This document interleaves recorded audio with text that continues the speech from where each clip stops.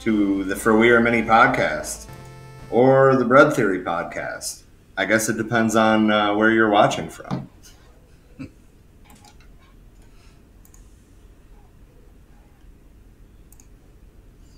so, how are you doing today, Zach? Not too bad. And thank you for the follow, Freddie uh, LeChance. Uh, we're doing State and Revolution tonight, so I hope you're into that sort of thing. I'm doing pretty well today. Um, yeah, it was, a, it was a really nice day out here.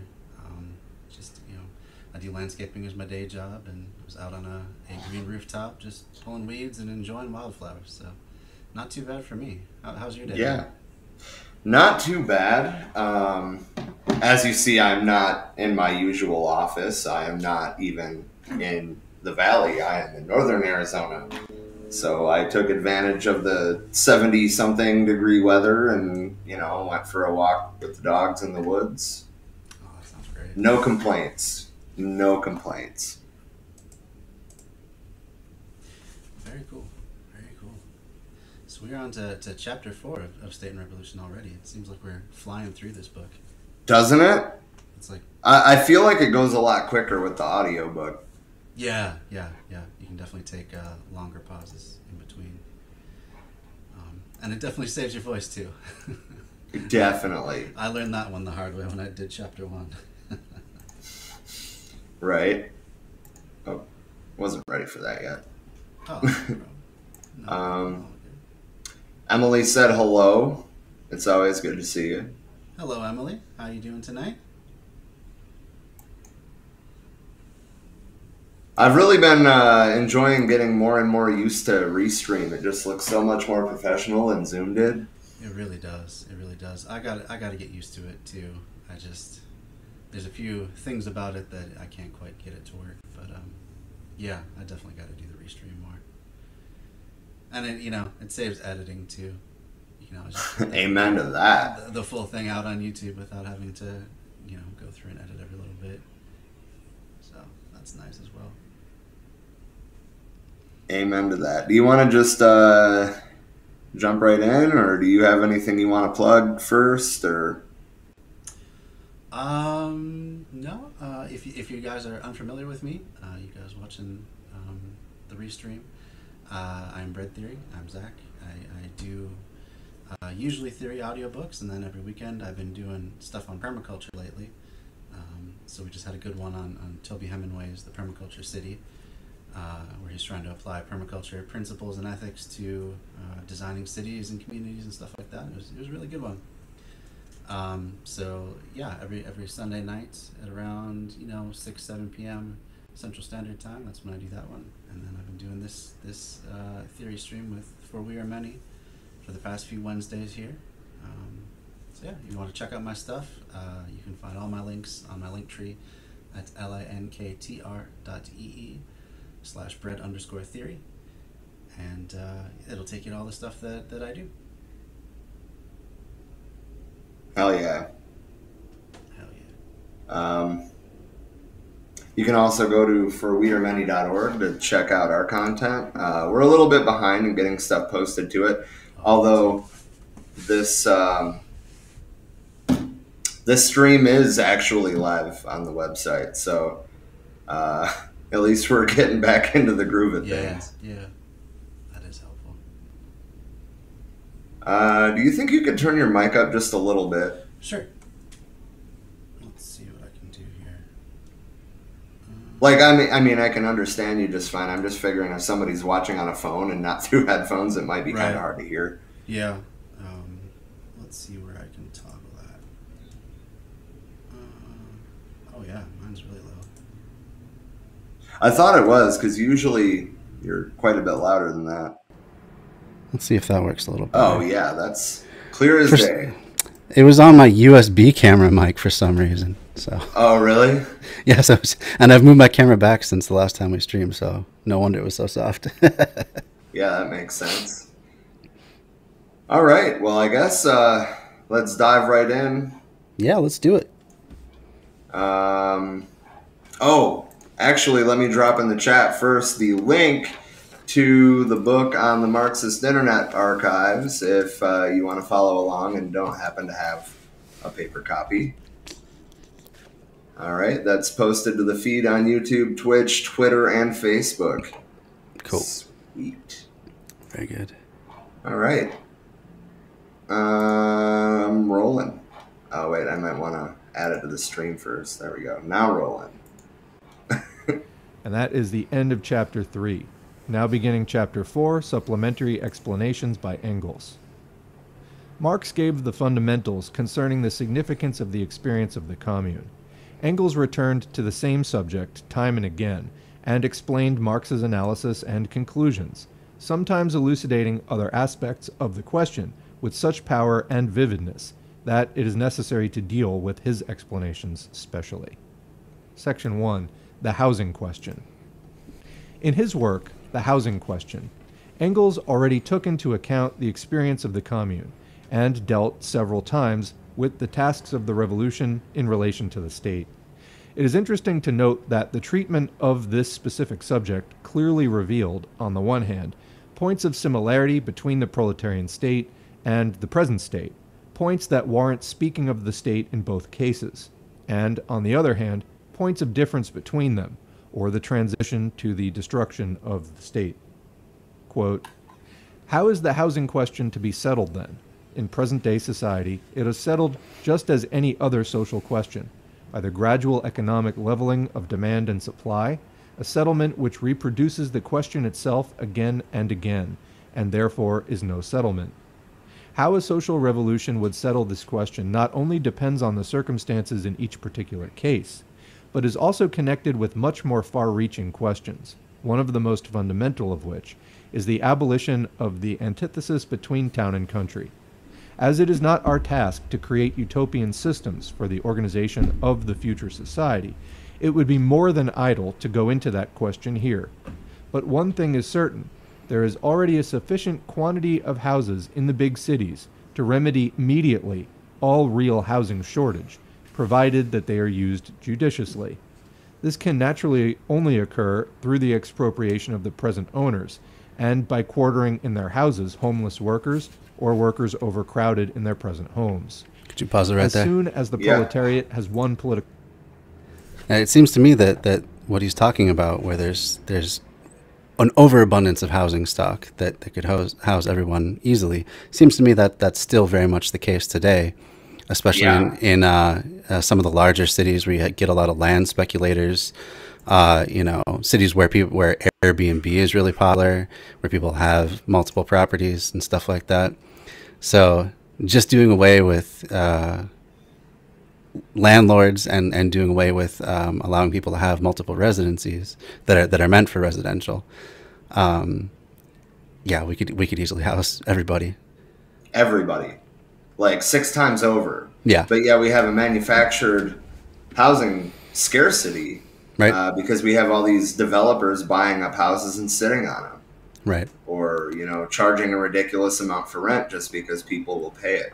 Yep. Um, I got a couple comments in our chat to catch up on. Caitlin says, "Hey, hello, nice to see you." Hey, Caitlin. Uh, John is back. He's our newest patron. Uh, the first time I saw him in the chat was just last night, so Very cool. obviously we made a good impression. I'm pretty Wait. stoked about that. Way to step up. That's really great. Yeah. And uh, of course, Natalie says hi, all. Hello, Natalie. Hello, Natalie. And um, yeah, I mean, I guess I just want to piggyback off of what you were saying. Yeah, Um, that is very much the case today. It's all a manufactured scarcity. Uh, we are all acutely aware of that at this point. Um, I guess that in society more broadly, there's just still the question of what do we do? right. Um, that's part of the reason I wanted to read this book. Absolutely. Yeah. Well, I mean, I, ideally, we would we would first decommodify housing. Like Yes. when when you have a profit motive in something that people need to to live, housing is, is a pretty basic thing to, to live. Then of course, people are going to pursue that profit motive over housing people even. Um, so yeah, I mean, it's small wonder that that there's so many homeless people, uh, even in the the richest nation in history. Um, yeah, it's because it's because we we put profit over people, literally. Yeah, and um, housing is certainly not the only industry where that's a problem. Uh, healthcare, holy shit. Oh, just the, the, the amount of administrative waste. I mean, they talk about the efficiency of the, the private sector and all that stuff in the marketplace. It's all just bullshit. Uh, you look at countries that, that have uh, some sort of socialized medicine program, some sort of universal health care, incredibly lower overhead costs because you don't have uh, people working with, you know, billing and, and uh, dealing with uh, health insurance providers and all this. It's all just centralized into one place, you know the, the government pays for the, the services. You don't have to worry about being in or out of network because it's all the network. Uh, it's just so wasteful the way we do things. And, Yeah. and, and it's such a sham that, that it's been been sold to us that this is somehow more efficient and we get better care as a result. Because certain, certainly some people do, but you, you really have to pay uh, quite a lot of money, and that's that's unattainable for the average person. Absolutely. Um, I guess just to throw it out there, any of us that are on this stream or in the chat, we're we're not we're not in the club. Right? Yeah. No. I, I'm I'm still working on trying to get healthcare through my my state offered program, and it's just been it's been a long process. But I can't get it. I can't even get it through my work yet. I haven't been working there long enough. Oh wow. Uh, John said much more efficient, and I mean, yeah, like look at countries like Cuba, for Yeah. example. I mean, there's never a question of, hey, how can you pay for this? Never, never Yeah. once. They, got a world class system, one one of the best in the world, um, and that's despite having a a how many decades U.S. embargo on on so many of their trade goods. Yeah, and they have such a hard time getting medical equipment because you know the embargo doesn't necessarily affect food and medicine, but it does affect medical equipment. Right.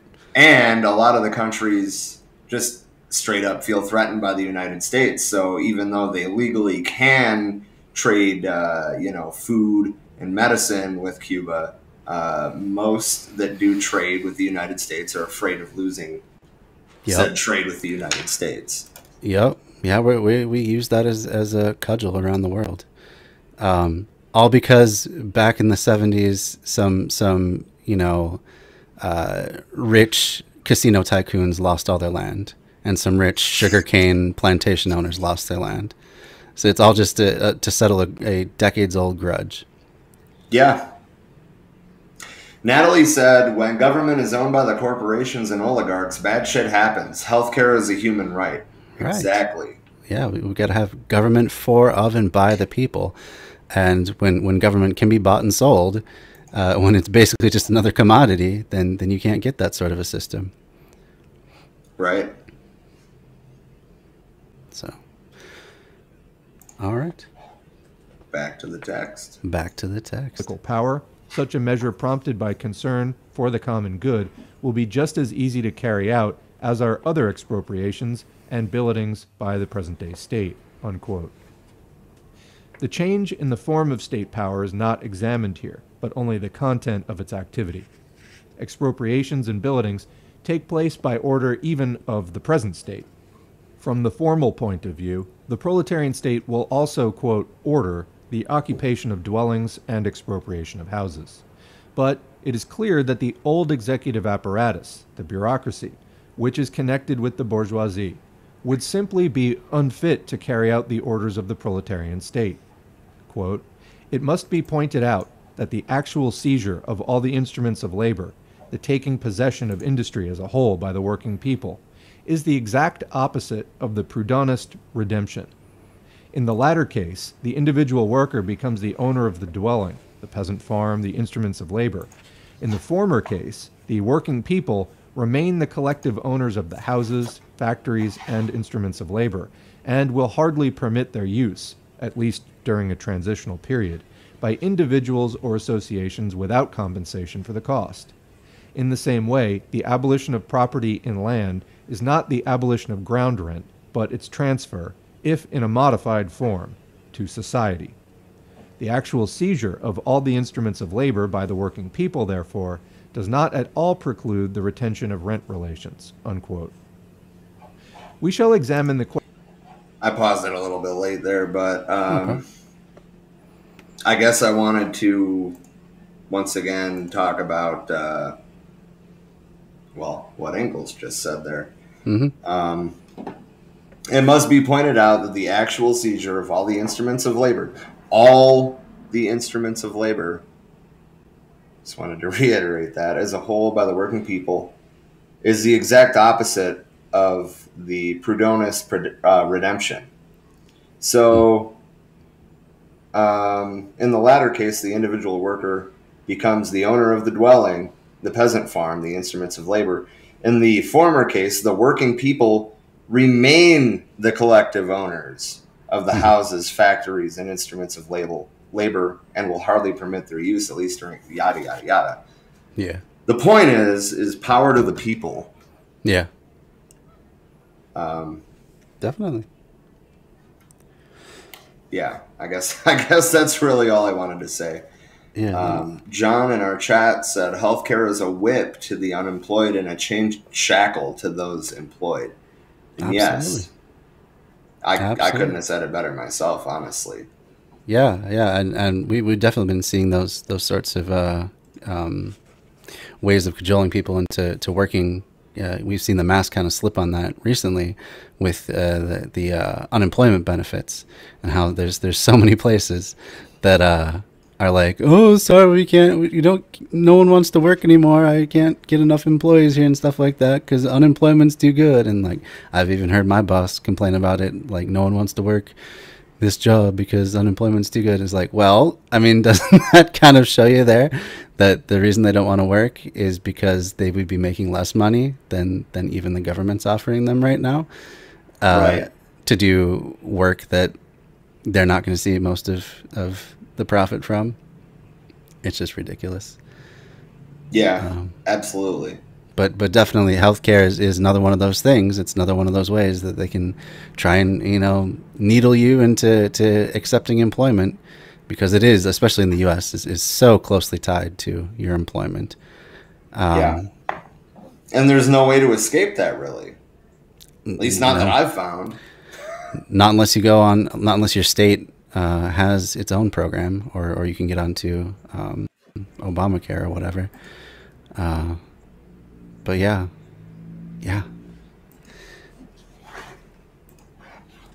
Um, uh, just one thing that I wanted to bring up when he's talking about the, the, the state seizing all the, the properties and then redistributing it to all the people that need housing and stuff. This this sounds a lot like um, uh, the Conquest of Bread. I'm, I'm, getting like echoes of, of reading that book because Kropotkin said basically the same thing. Is, is after the overthrow of the old order, the first thing you should do is redistribute housing and stuff like that. The only difference, like the only difference that I can see so far, is that uh, Kropotkin was like, well just things uh, orders will naturally arise where people who are interested in housing will get together and, and take inventory of, of housing. And then he, he mentioned like clothing and a bunch of different things. Just take inventory an inventory of the, the resources of the city and then distribute it equitably. Whereas as lenin is saying that that should rather be a, a centralized um, process. Um, and i can definitely see merits to both. But yeah. uh, one, once again, we're seeing that that the the Marxist Leninist view of things and uh, the at, at, least the anarcho communist view of things are not all that different. It's just mainly a difference in the way they want to go about doing things. Yeah, I mean, honestly, we're learning that little by little in uh, anarchism and other essays as well. I mean, there's a lot more overlap than I expected there to be. yeah. Honestly, yeah, um, I'm not so surprised. I mean, in retrospect, I shouldn't have been surprised, but you know how how these differ uh, how these differences get played up on the internet.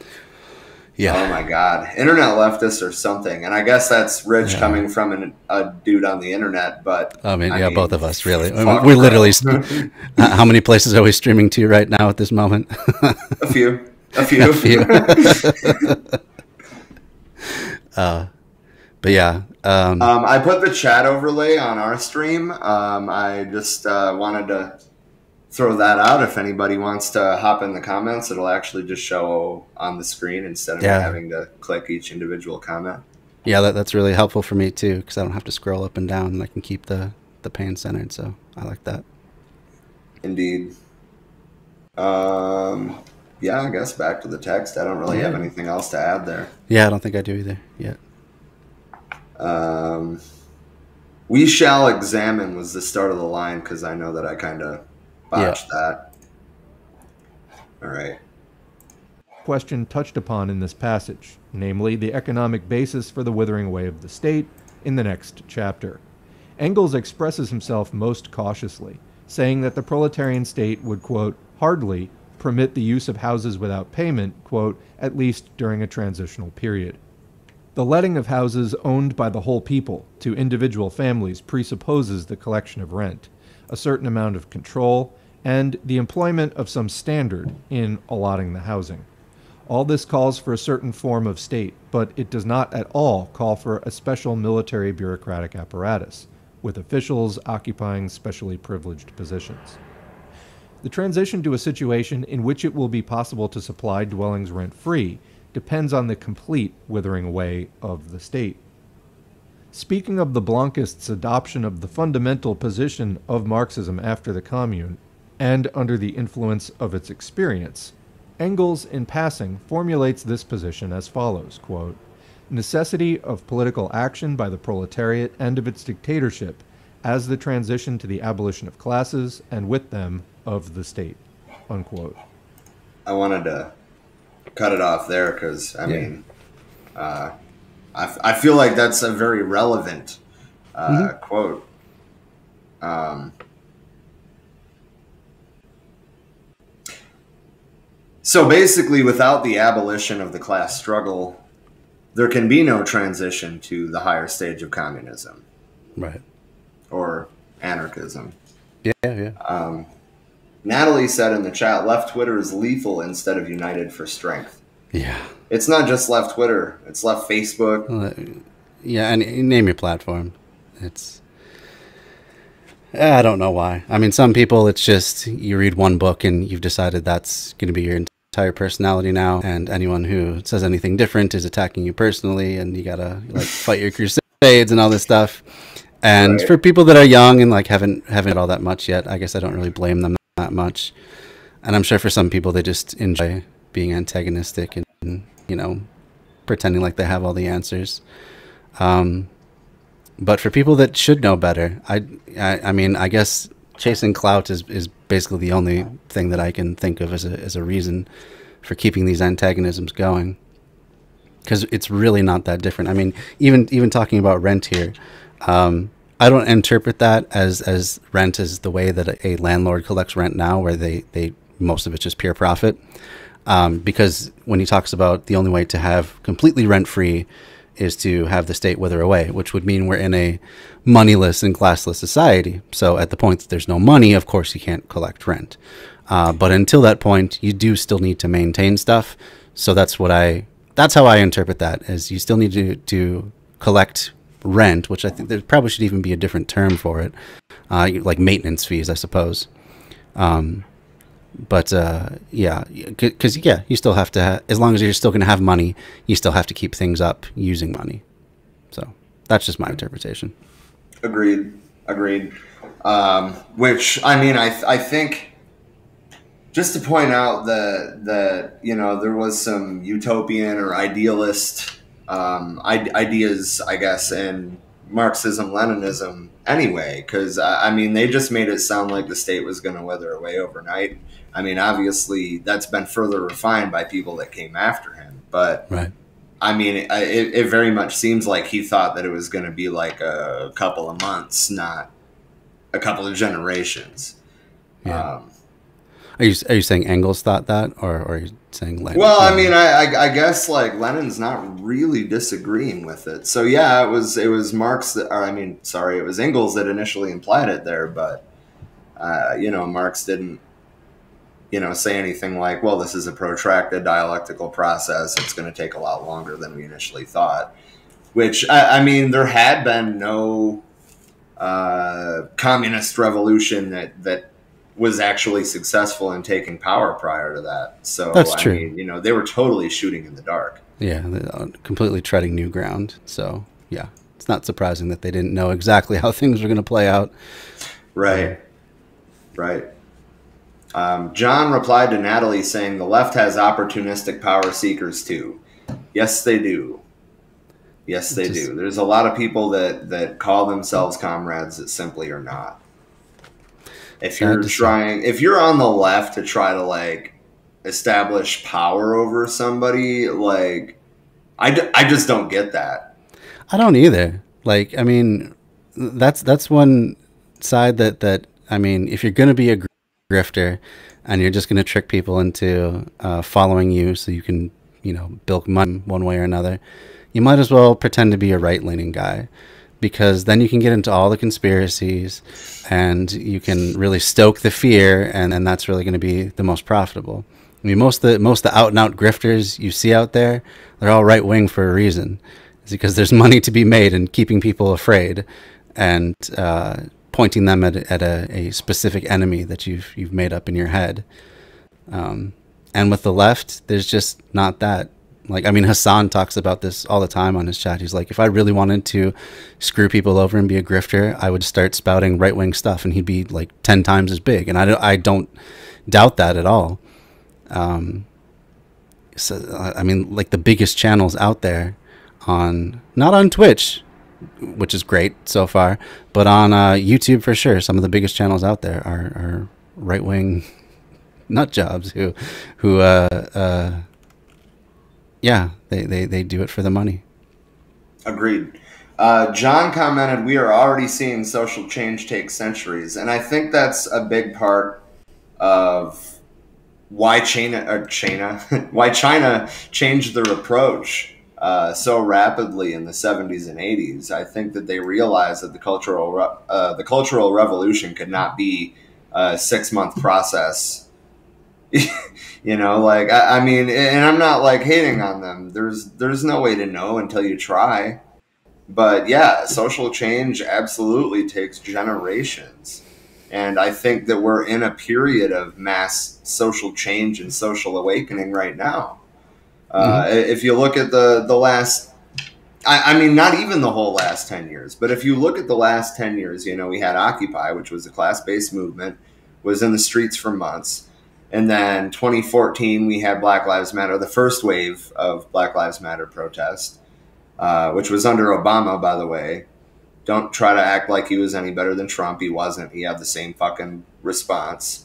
hmm Um, but you know, then obviously, uh, the more things are out there, like Chauvin would not have been held accountable if there wasn't so much video of it and it hadn't been so widely distributed. And on top of that, he probably wouldn't have been fucking charged like he was if the third precinct wouldn't have broken, like you know, wouldn't have burned to the ground. Yep. Um,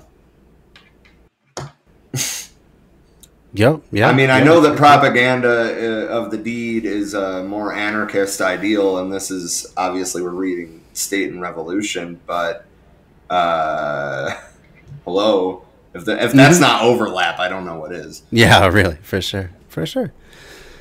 Yeah, um, and there there would be so much more power to uh, the left if we weren't constantly trying to. F- it's, it, and for so many, it seems like they're trying to find those divisions to exploit. And if we didn't do that, and instead, I, I'm pretty sure we can all agree on, on at least getting rid of of capitalism. Uh, I'm pretty sure we can all agree on having a more fair, just, and equitable society, and and bringing more democracy to the workplace and to you know real democracy to government, government that's not controlled by by capitalists and private interests. Uh, and those are some pretty powerful guiding stars. Uh, if we all just decide that that's what we're gonna to shoot for. Um, so yeah, I don't know. Yeah. Uh, I mean, honestly, in terms of instituting direct democracy, we have fucking computers that fit in our pockets. Mm-hmm. Yep, that's it. That's that's. I mean, I'm not point. saying that I want an election system built in, you know, operated by Google or Apple. No, that's not what I'm saying. But use that technology.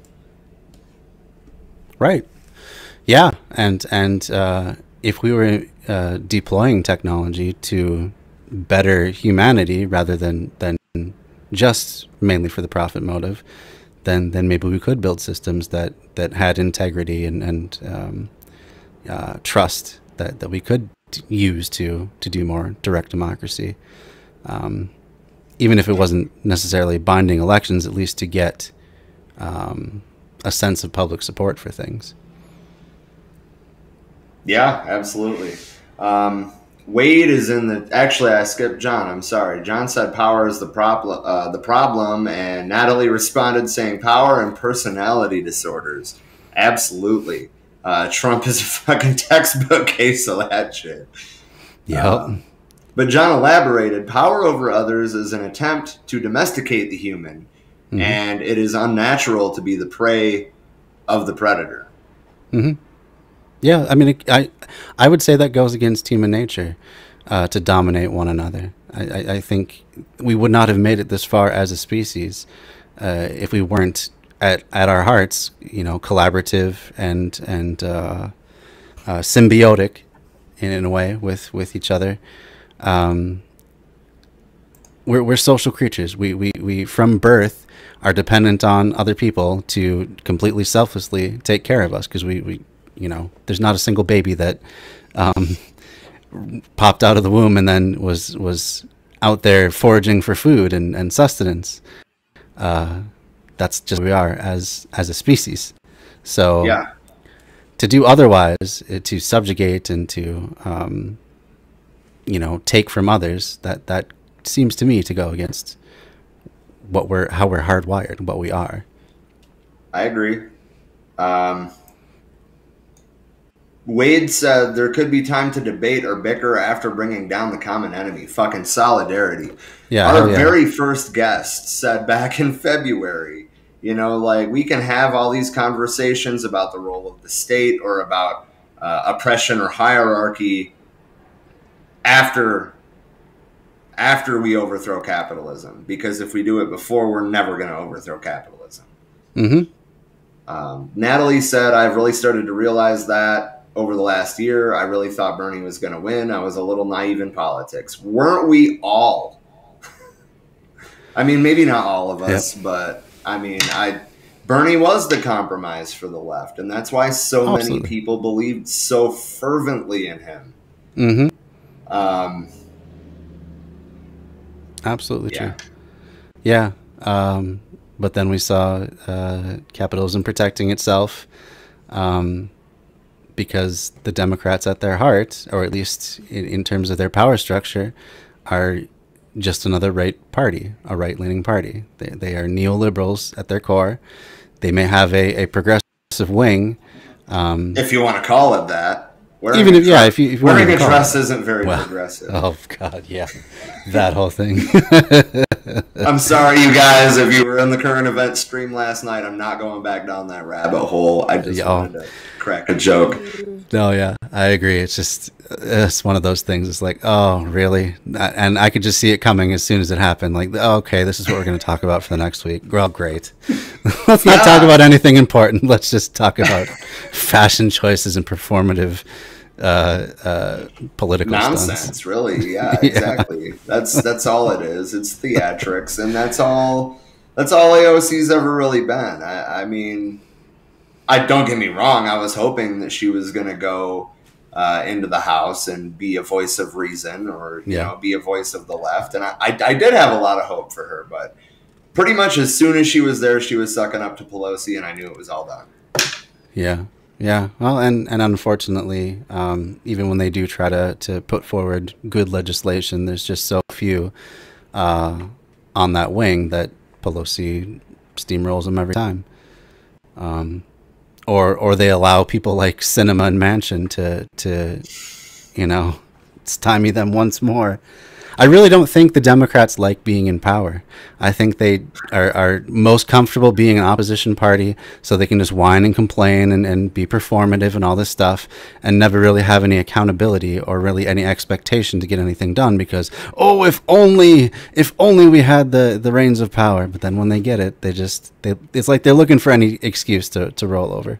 Oh yeah, just like why have we never heard of the Senate parliamentarian until the Democrats needed an excuse to not fucking do anything? I know. And and when the Republicans came into conflict with the Senate parliamentarian, they just fired him and they moved on. Uh, the Democrats could do the same. They they have the White House. Uh, I think he's controlled by um, the, the the president of the Senate, which is Kamala Harris. So she could just fire him and they could move along. And I mean, you know, that's that. They could get stuff done. But you know, again, it's- Natalie oh, said, "Oh, sorry, I thought you no, were done." no, no, no, no, no. Go ahead. Natalie said, "Without unions, well, uh, without union, I think she meant unity, but without union, there will be there will not be change." Yeah, Exactly, exactly. That's That's, sure. the whole reason we're doing this. I, I mean, unity is kind of at the core of everything left wing, except for Yep. maybe like egoism. yeah. yep. That wasn't a stab either. I mean,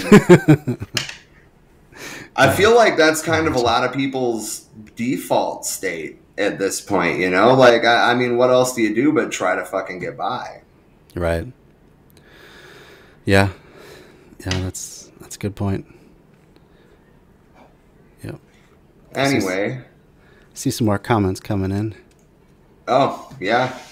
We don't really have a left party, Natalie said. The United States is way backward versus many countries. Absolutely. Joy said, hey, nice to see you, Joy. Uh, said the current Senate parliamentarian is a lady. I did not know that. Wade said they are politicians. I care nothing for any of them. Mm-hmm. I mean, I wouldn't say necessarily any, but any in power, yeah, absolutely.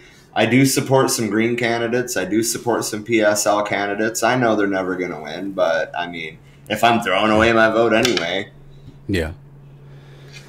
Yeah.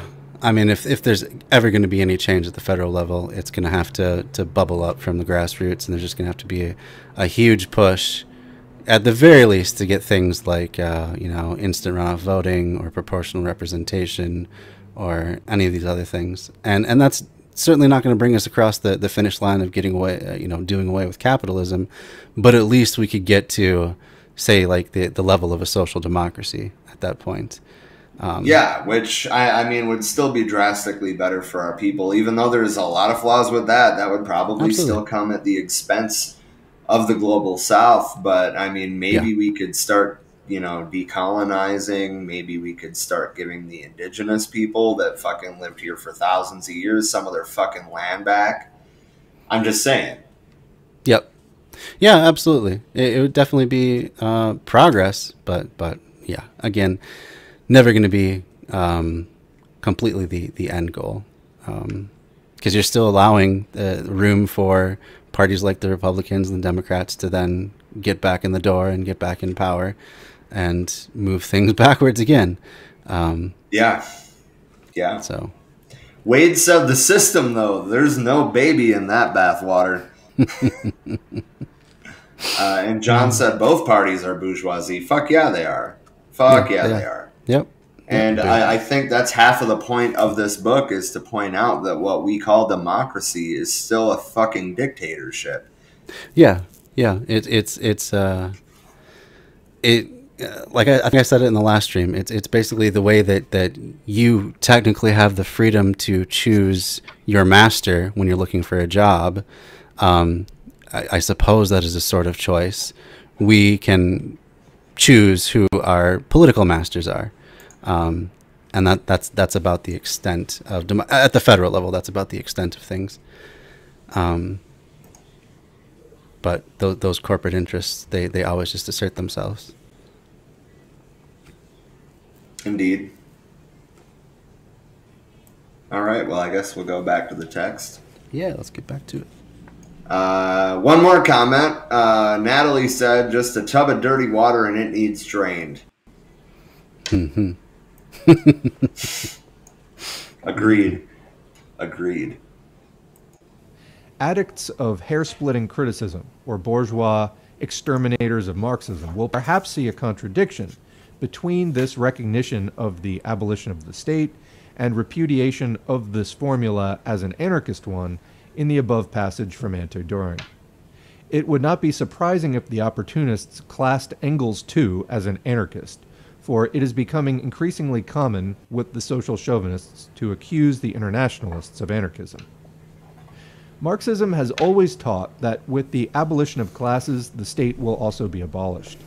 The well known passage on the withering away of the state in Anti Dühring accuses the anarchists not simply of favoring the abolition of the state, but of preaching that the state can be abolished overnight. As now, the prevailing social democratic doctrine completely distorts the relation of Marxism to anarchism on the question of the abolition of the state. It will be particularly useful to recall a certain controversy in which Marx and Engels came out against the anarchists. So, I guess before we move on to um, the controversy with the anarchists. Remember that infighting we were just talking about? It's not new. no, no, of course not. No, which I, I mean, I get it. Uh, I get it though. At that point, they literally were on the verge of revolution, and I, I mean, these things needed to be worked out. Granted, were there mistakes made? Yeah, Yeah. yeah. I mean, there probably was on both sides, but we don't. I don't know of any way to get that information. Yeah. Um, anyway, though, uh, sorry, but the uh, in anti-Dühring, um, they preach that the state. Oh, they accuse the anarchists uh, not simply of favoring the abolition of the state, but preaching that the state can be abolished overnight. So, like, they're even pointing out there that they don't disagree that the state needs to be abolished. It's just whether it's going to be a process or whether it's just going to be a smash and grab. Right. Um, so yeah, I, I mean that is that is certainly hair splitting criticism if it really comes down to it.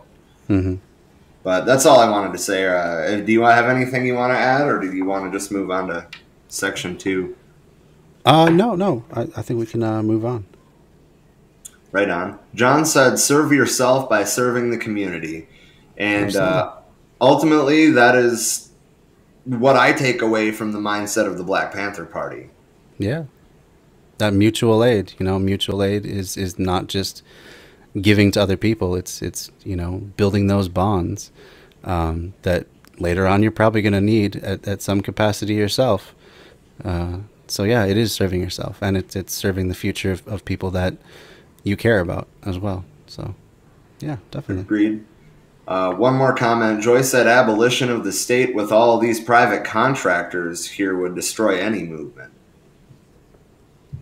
Exactly. That's ninety. Well, okay, I, I probably throw out a random percentage every time, but that's a pretty high percentage of why I became a Marxist-Leninist. Hmm. It's not that I don't agree with anarchism. I mean, Hmm. ultimately, the end goal is the same as I say every fucking time we do this stream.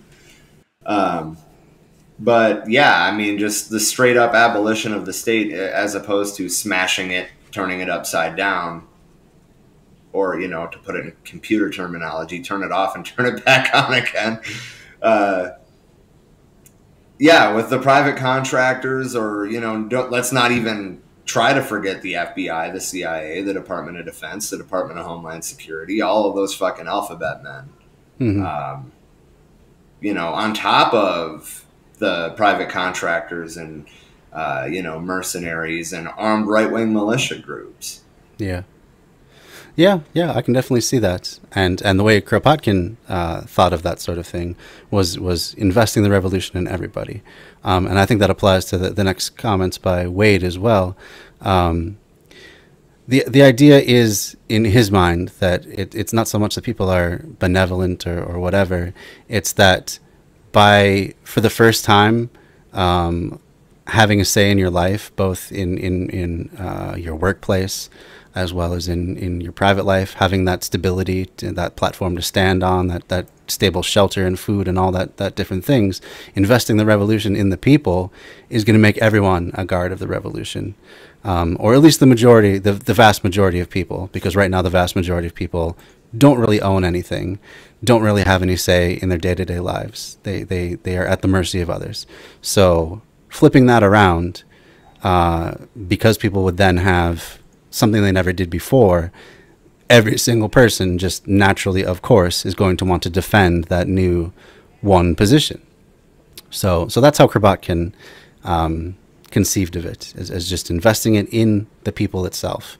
Uh, uh, and so that's why he didn't also see the need for a, a centralized state. But I, I, definitely see the arguments both ways. I think both sides have, have some good points. Yeah, yeah. And I mean, honestly, I want to. Uh, I think the next anarchist piece that we might do might end up being Kropotkin as well, but it, obviously it's not going to be Conquest of Bread because you did that already. But yeah, I, I definitely want to do uh, Mutual Aid, uh, yes. Factor of Evolution. I think that would be a great one to do. Yeah, I have the hardcover academic version at home. Oh, very cool. Yeah. Uh, most of my revolutionary theory came from Haymarket Books. Uh, they're always running sales. I mean, I usually don't, you know, come on here and like say, "Hey, buy from this fucking company," but mm-hmm. like, it's pretty much all leftist, whether it's theory or commentary. Um, Yeah. I mean, come on, Haymarket books, the Haymarket riots. It's yeah. kind of easy to put together there. yeah, they're really good. They have a great YouTube channel as well. They they hold like Zoom discussions about a lot of different things. Um, so that's definitely one to check out. Another great uh, bookseller that is a worker-owned cooperative as well is Red Emma's, and they sell a lot of, of stuff from the, the classical theory to the more contemporary stuff. So that's another one to check out. Red Emma's, Red Emma's, that is. Okay. I'll have to check it out. Yeah. All right. Well, uh, back to the text. New section Controversy with the Anarchists. This controversy took place in 1873. Marx and Engels contributed articles against the Proudhonists, autonomists, or anti authoritarians to an Italian socialist annual, and it was not until 1913 that these articles appeared in German in Neue Zeit. Quote, if the political struggle of the working classes assumes revolutionary form, wrote Marx, ridiculing the anarchists for their repudiation of politics, and if the workers set up their revolutionary dictatorship in place of the dictatorship of the bourgeoisie, they commit the terrible crime of violating principles, for in order to satisfy their wretched, vulgar, everyday needs, and to crush the resistance of the bourgeoisie, they give the state a revolutionary and transient form instead of laying down their arms and abolishing the state. Unquote. It was solely against this kind of abolition of the state that Marx fought in refuting the anarchists. He did not at all oppose the view that the state would disappear when classes disappeared, or that it would be abolished when classes were abolished. What he did oppose was the proposition that the workers should renounce the use of arms, organized violence, that is, the state, which is to serve to, quote, crush the resistance of the bourgeoisie. To prevent the true meaning of the struggle against anarchism from being distorted, Marx expressly emphasized the revolutionary and transient form of the state which the proletariat needs. The proletariat needs the state only temporarily. We do not, after all, differ with the anarchists on the question of the abolition of the state as the aim. We maintain that to achieve this aim, we must temporarily make use of the instruments, resources, and methods of state power against the exploiters, just as the temporary dictatorship of the oppressed class is necessary for the abolition of classes. Marx chooses the sharpest and clearest way of stating his case against the anarchists. After overthrowing the yoke of the capitalists, should the workers, quote, lay down their arms, or use them against the capitalists in order to crush their resistance. I felt like that was a, a pretty good spot to pause it there, mm-hmm. because that's that's a big part of what we're talking about. Um, yeah. I, I mean, essentially, what Lenin is advocating for here is using the state to crush the capitalist resistance. I right. mean, history shows us over and over that anytime that there's a proletarian movement, let alone an actual successful revolution, that capital is going to try to protect itself. Mm-hmm. Yeah, absolutely. And and I think it's important to, to reemphasize here that when he talks about the state, it's an, an inversion of the bourgeois state. Instead of a state that is there to defend capital and capitalists, it is a state that is there to defend the people because it is the people. It's made up of the people and it's controlled by the people um, against the capital uh, interests and, and the capitalists. Um, so, yeah. Um, Joy said, "Do audiobooks, damn it, readings for losers with a laughing face." Yeah, I wish there was a really good source of. I mean, there are some good sources for for older audiobooks, uh, like the one we're doing right now, Socialism for All. There's Audible Anarchist. There's Audible Socialist. Um, and occasionally they'll do a more modern text. I, I did a couple of David Graeber ones not too long ago, but other than that, it's really hard to find a non Amazon source of audiobooks. Um, Yeah. that Yeah, covers this stuff. So if anyone knows any sources, I would I would love to know. Because I, I read audiobooks all the time. Like doing landscaping, I have a lot of time where uh, just my hands are occupied, and, and I love to read audiobooks during my. Free I time. mean, honestly, well, not so much at this job because, well, I mean, I'm not going to go into that. But at my last job, I was listening to Rev Left Radio at work like all go. day, every day. yeah, I started at the beginning and made it up until uh, 2020 anyway, and now I mean, wow, I'm still I'm still a little like through the end of 2020, like yeah, like the fucking well, like the election. uh huh. Um, Anarchist Library does have some audiobooks. I wish Oh, there's yeah. I wish that their library was a little easier to navigate. I totally agree. I totally agree. Uh, what basically what I've found is that for any title you're looking for, you basically just got to do a Google search, and then it'll bring you to the correct one. Because they're very specific about how you have to type in that title or the author or whatever. Um, and nine times out of ten, you're just not going to find what you're looking for searching within their site. Um, Joy also said, "Crush hard, Lenin Daddy."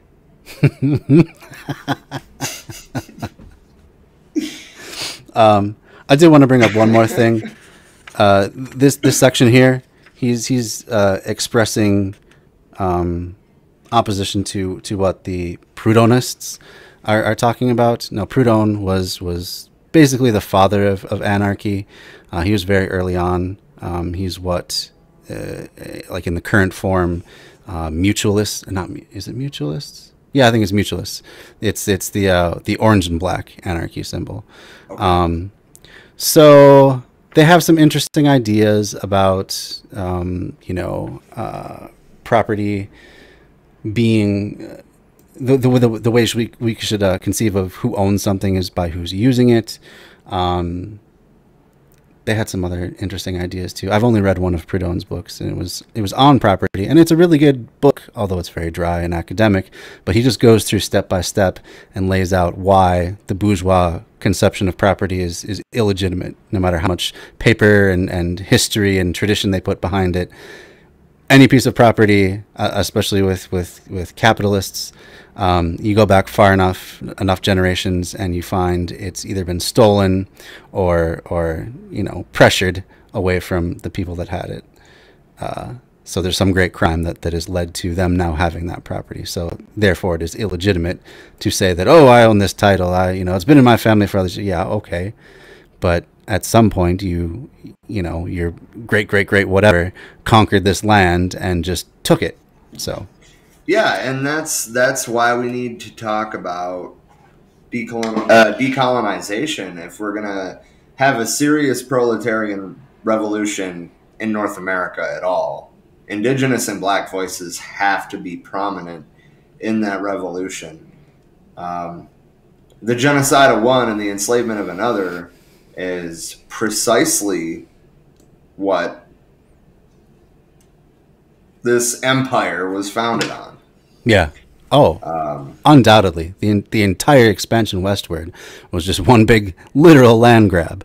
And it's not as though that was unoccupied land. It was it was at one point native land. And then i mean you get into the indian removal act uh, and andrew jackson probably the worst president we've ever had um, completely ruthless and racist didn't care at all instituted the trail of tears. Uh, yeah. Our entire country was was stolen and swindled from a lot of people.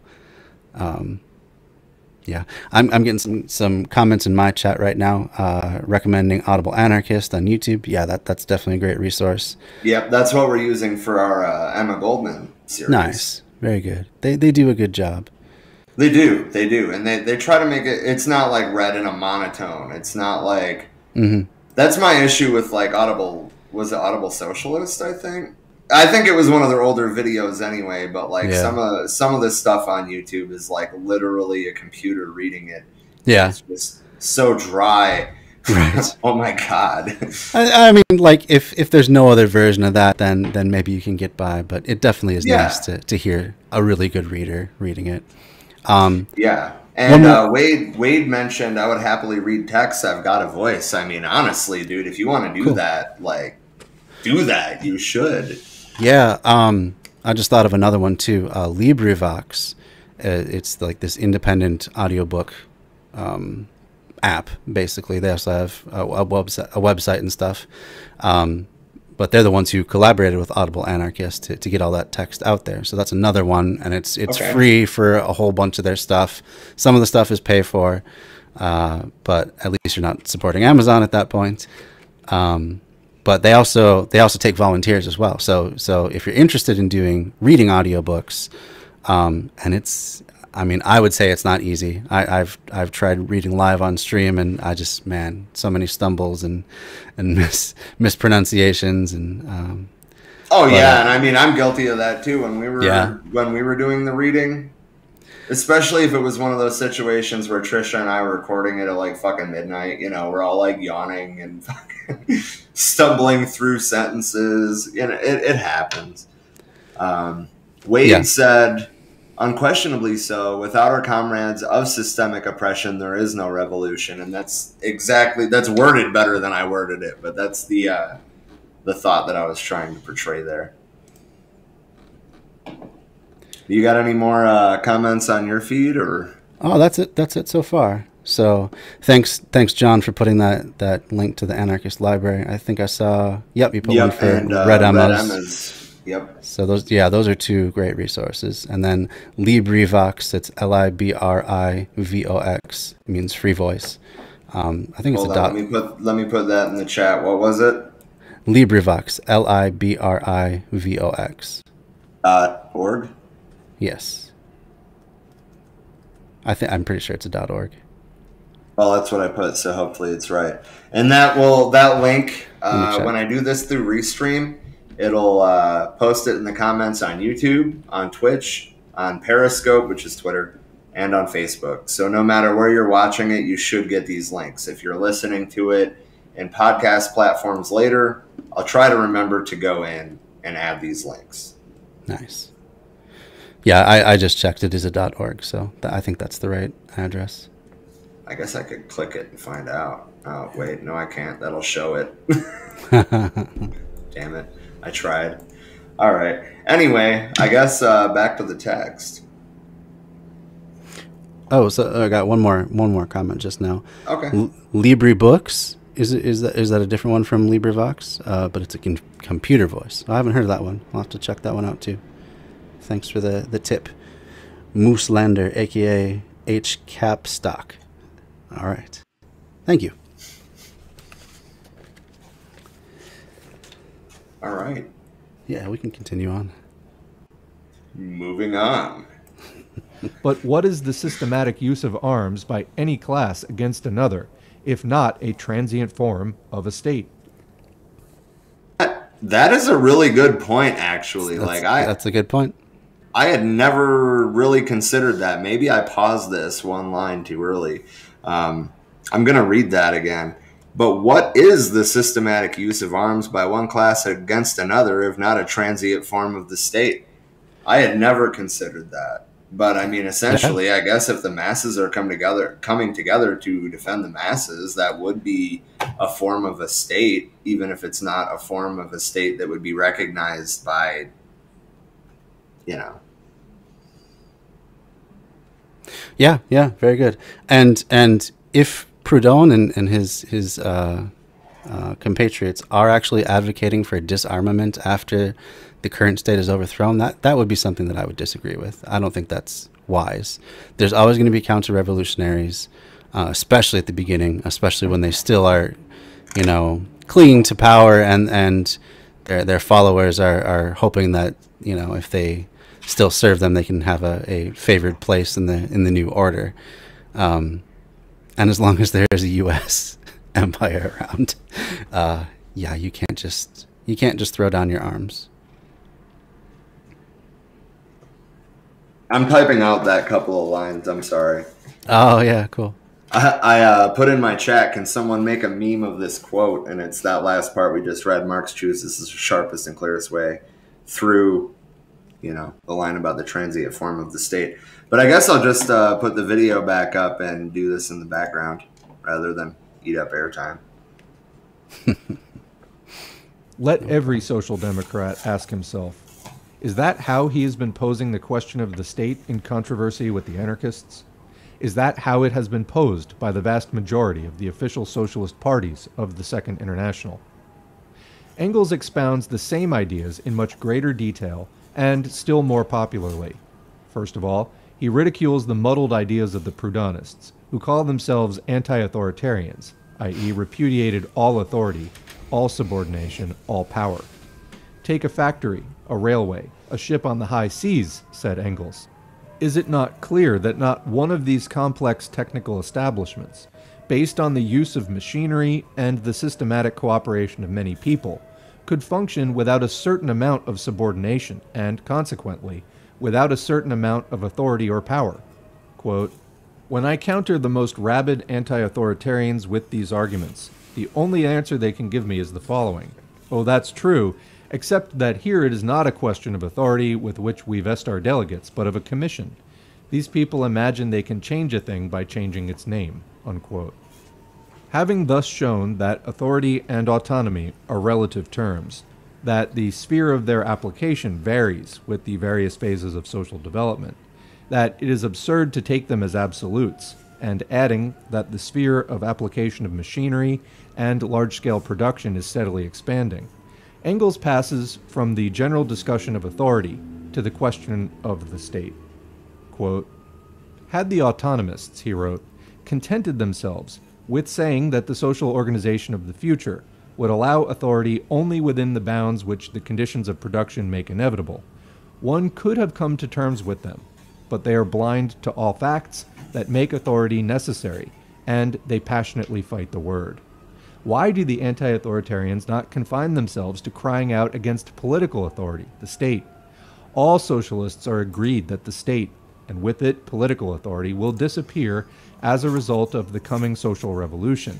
That is, that public functions will lose their political character and become mere administrative functions of watching over social interests.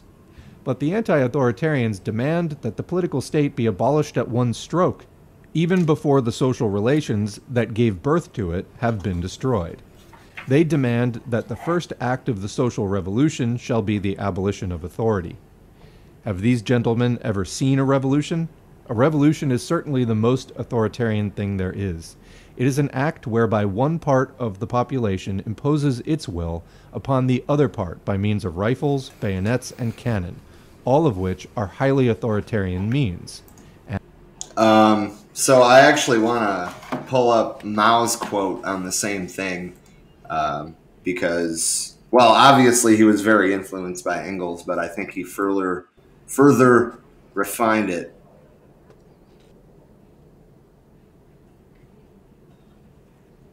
Okay. Give me two seconds. I'm sorry. sure. I'll, I'll read a couple comments while you're while you're doing that. Then. Uh, okay. Uh, so we have some more recommendations for audiobook sources. Audiobook Buzz, but but the commenter thinks that might be part of LibriVox as well. Um, and then they, they give a quote by Rousseau uh, When the people shall have no more to eat, they will eat the rich. Amen like to a, that. Yeah, there's like a the opposite of let them eat cake sort of statement. I love it. Um, and then Radical Audiobooks on YouTube is another one. That's not one I've heard of, so thank you for that as well. I may have seen it, but I don't think I've um, listened to any of their stuff yet. Cool. So Mao Zedong uh, further elaborated um, on that, essentially saying, "Revolution is not a dinner party. It is not an essay or a painting or a piece of embroidery. It cannot be advanced softly, gradually, carefully, considerately, respectfully, politely, plainly, and modestly." A revolution is a violent act in which one class overthrows another class. You know, so like they're not trying to romanticize the violence; they're trying to be realistic about it. Um, which I mean, I think as time goes on, we can we can see more ways that nonviolence can have an effect. Um, but I mean, coming out of Russia in 1919, there was no way it wasn't going to be bloody. Yeah. Yeah, and and as we often mention, it's important to keep in mind that that every day capital and capitalists do violence to everybody. Um, they they loot everybody just through their their um, just through their power structure that they've set up.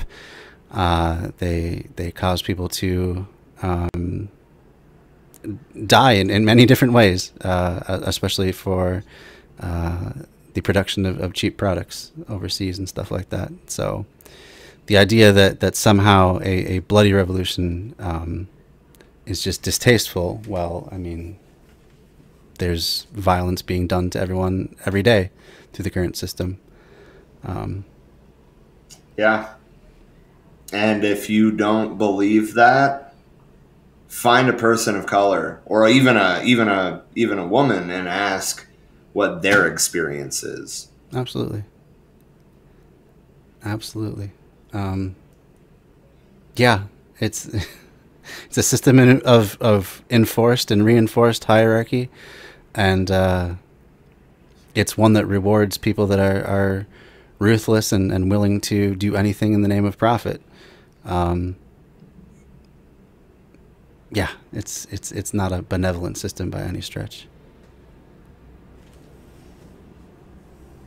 I'm not quite sure why Joy sent me this in Messenger right now, but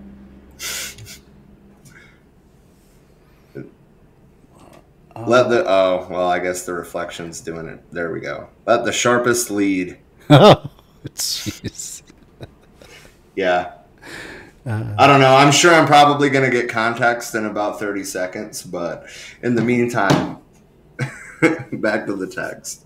Uh, I just had a couple more comments coming in. Oh, yeah, yeah, go ahead. Uh, so Mooselander says, I now put the Rousseau quote in every chat uh, after I stumbled on some young people debating "eat the rich" as as cannibalism. Okay, yeah, it, it it's a meme. It it doesn't literally mean "eat the rich," and I I would think people would understand that, but you know, some people are dense.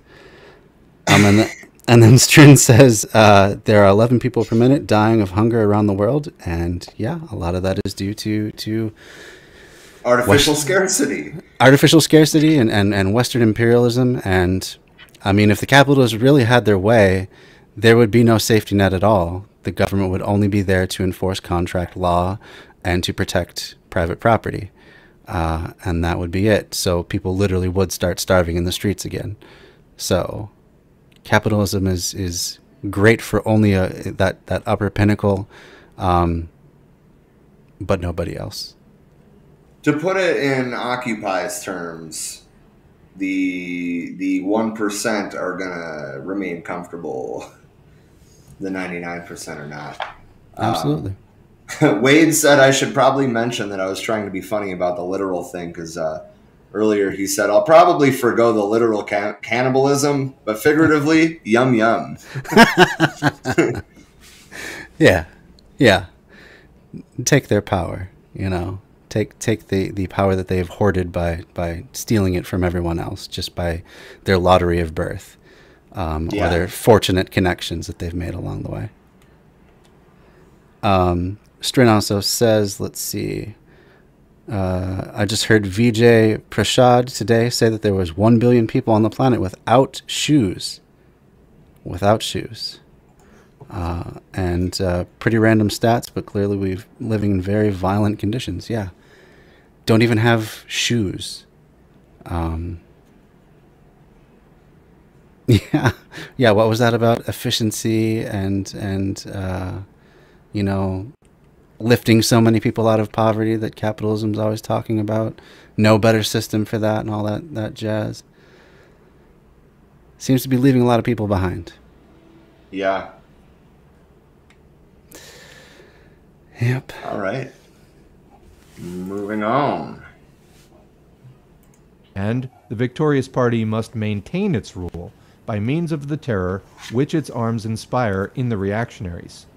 Would the Paris Commune have lasted more than a day if it had not used the authority of the armed people against the bourgeoisie?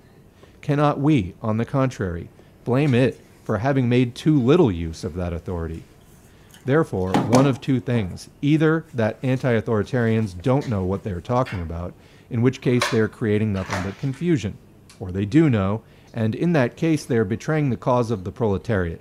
In either case, they serve only reaction. Unquote.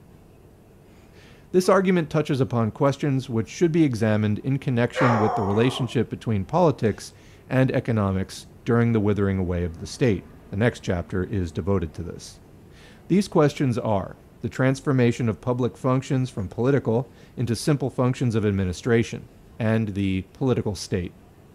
This last term, one particularly liable to misunderstanding, indicates the process of the withering away of the state.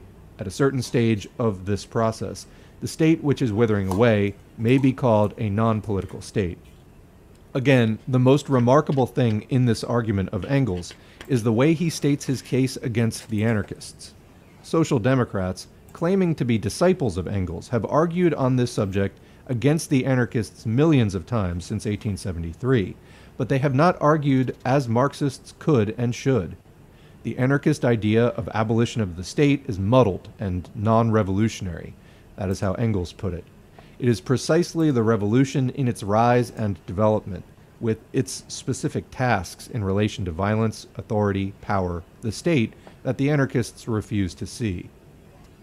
The usual criticism of anarchism by present day social democrats has boiled down to the purest Philistine banality quote, We recognize the state, whereas the anarchists do not.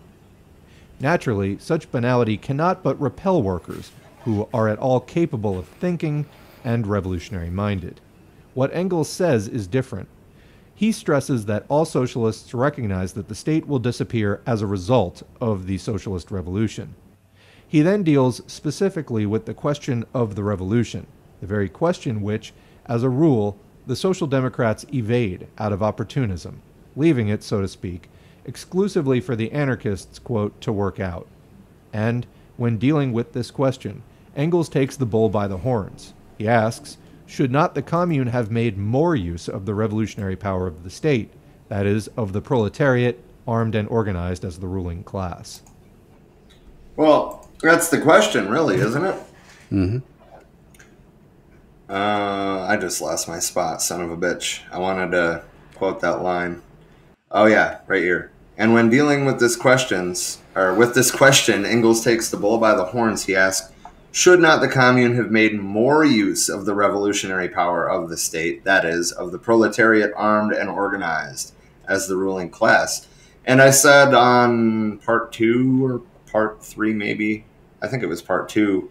Um, th- that's kind of how I felt about it. Had they been more forceful, it wouldn't have been. Yeah, It- they, they, it- they wouldn't have been overwhelmed.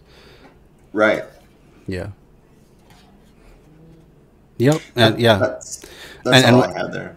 Yeah, and, and what Kropotkin was, was saying about that in the Conquest of Bread was that had they instead of you know, bickering about who's going to be on what committee and, and you know what bureaucracy was going to be set up, had they instead tried to fulfill the promises of the revolution, then every single person in, in Paris would be uh, a revolutionary, and they would have just naturally resisted any sort of, of uh, conquest from outside. But but he too didn't say that they should give up their arms. So um, I'm not quite sure where the, the, the criticism of, of giving up arms and, and throwing away all the the the former power comes from because it's it's not something that it's not something that I would agree with, and I wouldn't think that I wouldn't think that most anarchists today would would agree with that either.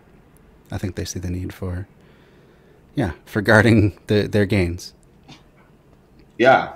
Yeah. I mean, honestly, um, I think that as we pointed out in the last stream, what it really all comes down to is centralized versus decentralized. It's not even really about the role of the state if Yeah. we're going with Lenin's definition of the state. Right, right. Um, and yeah, I, I yeah, I mean, there, there's still going to be uh, organization. It's just that like Kropotkin thought it was just going to naturally arise. People that, that are interested in a certain thing are going to get together and and you know make sure the people are provided for in that thing, whether it's defense or food or housing or whatever it is. And and Lenin wants to have it be more of a uh, systematic, coordinated approach, which I can see as well. Um, yeah, th- those seem to be the main differences. Um, before I go back to the text, I just wanted to read John's comment here. Capitalism causes poverty and destruction of cultures. Yep. Yep. Absolutely does. Uh, okay, I yeah. lied. What, one more comment because we just commented this. Arms are like Pandora's box. It's open. There's no putting it back. True. Well said. True. True. Um, it's yeah. I mean, it's just an unfortunate reality that that there would be people that would mean to do a revolution harm and and put things back to way the way that it was, um, and they're not just going to be resisted through polite conversation. Um, it really sucks. Like, it would be great if people could work out the differences a little better. Um, Wouldn't it? Wouldn't it? But when it's when it's uh, having a state for the people that they actually control versus what we have now, uh, if if the only way to hold on to that sort of thing would be through armed resistance, then that's what you got to do. Um, but it, I mean, it wouldn't necessarily come to uh, any sort of violent action as long as you can have a show of force and saying, hey, we're not just going to roll over and let you come back into our, our town and, and take over again. That might be enough, depending on how big and, and determined the, the opponents are. That's certainly what happened in the, in the wake of Hurricane Katrina when mutual aid disaster relief went out and, and helped the people there that had been completely abandoned by the, the local government left to fend for themselves and were being harassed and, and shot at. I think maybe uh, a few of them were even killed uh, in the streets by these these roving bands of uh, of white supremacists, of, of, I guess basically KKK members, uh, until uh, uh, Mutual Aid Disaster Relief showed up with guns and just made a show of things. There was never a shootout. They just had to make it clear that they were not going to let them continue the reign of terror. And the same was true with the the uh, I want to get their name right. I think it's the the Deacons for Self Defense, um, who were were part of the civil rights era in the United States. Who, when uh, the KKK would go on their their night rides and terrorize black families by shooting up their homes, the Deacons for Self Def- I, I don't think that's the right name, but it's something like the Deacons for Self Defense. Um, there's some great podcast episodes about it out there and some great documentaries. Uh, they just made a show of arms and and it, it did never come to to blows or anything, but just by making that show of arms, that they managed to push back the KKK as well. Uh, so yeah, I mean, ide- ideally that's what happens, but at, at least you have the option to use more force if need be. Well, yeah, I mean, ultimately, I guess what it comes down to for me is I would rather have the option and never need it right. than need it and never have the option. Right. Absolutely. All right. Well, uh, back to the text, I suppose. Back to the text. Prevailing official social democracy usually dismissed the question of the concrete tasks of the proletariat in the revolution either with a Philistine sneer or at best with the sophistic evasion the future will show. And the anarchists were justified in saying about such social democrats that they were failing in their task of giving the workers a revolutionary education. Engels draws upon the experience of the last proletarian revolution precisely for the purpose of making a most concrete study of what should be done by the proletariat and in what manner in relation to both the banks and the state. New section Letter to Bebel. One of the most, if not the most, remarkable observation on the state in the works of Marx and Engels is contained in the following passage in Engels' letter to Bebel, dated March 18 to 28, 1875. This letter, we may observe in parenthesis, was, as far as we know, first published by Bebel in the second volume of his memoirs, which appeared in 1911, i.e., 36 years after the letter had been written and sent. Engels wrote to Bebel criticizing the same draft of the Gotha program which Marx criticized in his famous letter to Bracke. Referring specially to the question of the state, Engels said, quote, The free people's state has been transferred into the free state. Taken in its grammatical sense, a free state is one where the state is free in relation to its citizens, hence a state with a despotic government. The whole talk about the state should be dropped, especially since the commune, which was no longer a state in the proper sense of the word. The people's state has been thrown in our faces by the anarchists to the point of disgust, although already Marx's book against Proudhon and later the Communist Manifesto say plainly that with the introduction of the socialist order of society, the state dissolves of itself and disappears. As the state is only a transitional institution which is used in the struggle, in the revolution, to hold down one's adversaries by force, it is sheer nonsense to talk of a free people's state. So long as the proletariat still needs the state, it does not need it in the interests of freedom, but in order to hold down its adversaries. And as soon as it becomes possible to speak of freedom, the state as such ceases to exist. We would therefore propose replacing the state everywhere by Gemeinwesen, a good old German word which can very well take the place of the French word commune. Unquote. It should be borne in mind that this letter refers to the Could party you- program, right there for which second? Marx criticized in a letter dated only a few weeks later than the above. Marx's letter is dated May 5th, 1875, and that at the time Engels was living with Marx in London. Consequently, when he says we in the last sentence, Engels undoubtedly, in his own as well as in Marx's name, suggests to the leader of the German Workers' Party that the word state be struck out of the program and replaced with the word community. What a howl about anarchism would be raised by the leading lights of present day Marxism, quote unquote, which has been falsified for the convenience of the opportunists, if such an amendment of the program were suggested to them. Let them howl. This will Okay, I, I actually paused that a little bit late, but um, That's okay. I want to. I don't know if you interrupted, but I, I wasn't paying attention for a second because I went on. We I went over to the Twitch. Stream Manager. I noticed in the dashboard here that uh, I have a, a viewer on Twitch, so I went over to the platform and I found out that we got four new followers today. So thank you. Hey, congrats on that. Yeah, that's awesome. Very cool. Um, so back to that, uh, the the Deacons for Self or for Defense and Justice. That that's that was the name that I was I was struggling for. So the Deacons for Dece- Defense and Justice was founded in 1964 in Jonesboro, Louisiana, to protect civil rights activists from the KKK. The organization was made up of black veterans. Uh, from World War II, who believed in armed self-defense.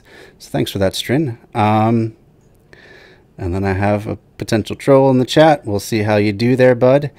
Uh, whole, the whole USSR thing just was not to be. Uh, when did Lenin die? About 100 years ago? Yup. Got him. I don't know what you're trying to prove there. Uh, yeah. yeah, I mean, the USSR, that, that would be an interesting topic to, to cover sometime is why the USSR fell apart. That is Um, such a deep topic. Yep. I mean, Yep. if you want to do that as like a cross pollination thing, I'm totally I'm down definitely, with that. definitely be down with that. There's a lot of research that goes into that. Yeah. Uh, but but for anyway now, uh, yeah, we're, we're talking about the beginning of it and the, and the theory that went into the revolution that, that eventually led to the formation of the USSR. Uh, oh, communism sucks. Well, with that solid logic, I, I, I guess I should just end the stream right now. Um, anyway, so Why didn't so, I think of that? yeah, really. I just should have known it sucked because, you know, living for the, the benefit of others in the capitalist system and allowing them to take most of the, the value that I produce is so much better. So much better. I, I love this system where I'm beholden to a master, but which I get to choose, though. I get to choose my own master. It's like a choose your own adventure, but it's for your life, and it every page, every option sucks. Um, Uh, but anyway, so so Marx was was talking about, and I was actually just going to bring this up, like that they shouldn't even be calling the worker state a state. He preferred community, or there was that German word that he talked about, uh, Yeah, Gemein, what was that? Gemeinwesen, Gemeinwesen. I'm gonna have to ask my wife about that. She she understands German. But yeah, I totally agree with that. I think we should stop talking about the worker state as a state because it just gets muddled and confused. Because it is, is the inversion of our current conception of the state. It is it is a, a it is a government for, of, and by the people in the truest sense that they're talking about, not one that just defends capital and capitalists. Uh, it's one that actively opposes them. So it really needs a different term, I think. And, and community or commune or uh, Gemeinweisen, Gemeinweisen, I think they pronounce the, the W's like V's, right? I believe so. Uh, Wade said, since obviously your guy is um, in your Twitch chat, not in our Facebook chat, but Wade said, choose your own adventure, the torture chambers. Ah, yeah, there you go. pretty, pretty gold. I would love to see the cover for that one. oh, Damn boy. it. All right. Yeah, Is we can. uh, okay. I don't have any more comments, so we can continue on if you want. Sounds good to me. earn them the praises of the bourgeoisie. And we shall go on with our work.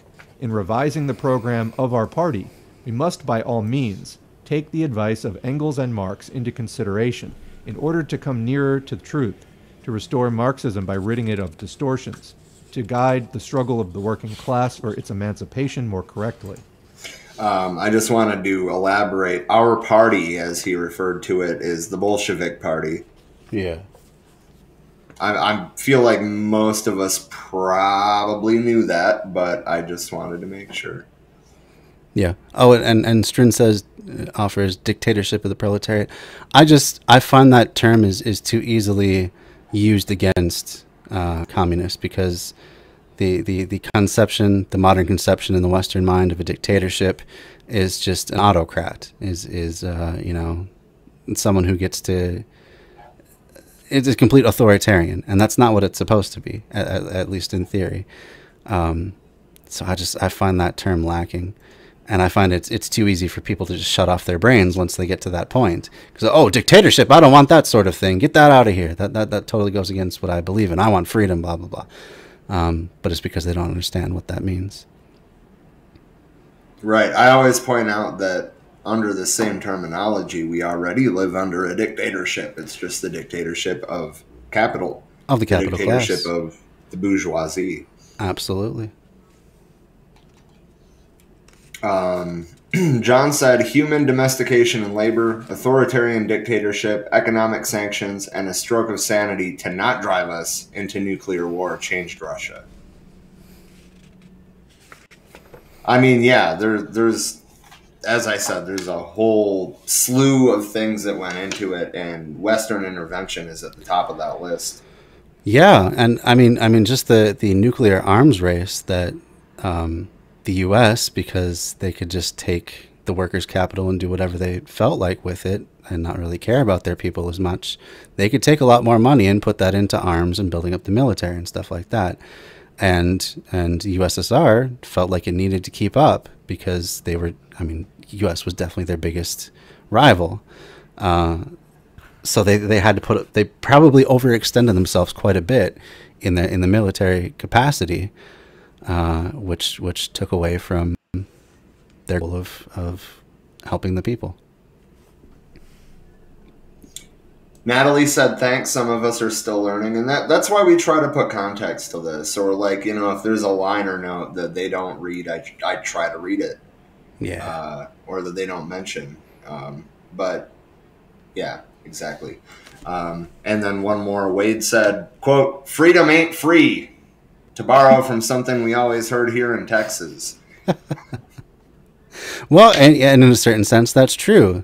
Uh, actual freedom, which is is the upliftment of of the common person, does take constant vigilance against people that love hierarchy and and love subjugating others for their own benefit. So that that definitely is true in that sense. Uh, John replied to Natalie saying, "We are all forever learning." Exactly. Yeah. Oh shoot. I, I I hope I don't present myself as any sort of expert on all this stuff. I'm just a guy who's read a few books and, and has ideas, and that's that's really about it. I'm learning a lot of this stuff at the same time. Same. Same. All right. Well, uh, back to the text. Did I miss? There we go. Certainly no one opposed to the advice of Engels and Marx will be found among the Bolsheviks. The only difficulty that may perhaps arise will be in regard to the term. In German, there are two words meaning community, of which Engels used the one which does not denote a single community but their totality, a system of communities. In Russian, there is no such word, and we may have to use the French word commune, although this also has its drawbacks. Quote, the commune was no longer a state in the proper sense of the word. Unquote. This is the most theoretically important statement Engels makes.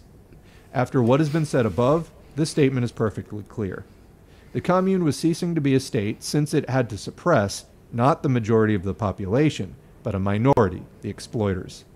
It had smashed the bourgeois state machine. In place of a special coercive force, the population itself came on the scene. All this was a departure from the state in the proper sense of the word, and had the commune become firmly established, all traces of the state in it would have withered away of themselves. It would not have had to abolish the institutions of the state, they would have ceased to function as they ceased to have anything to do.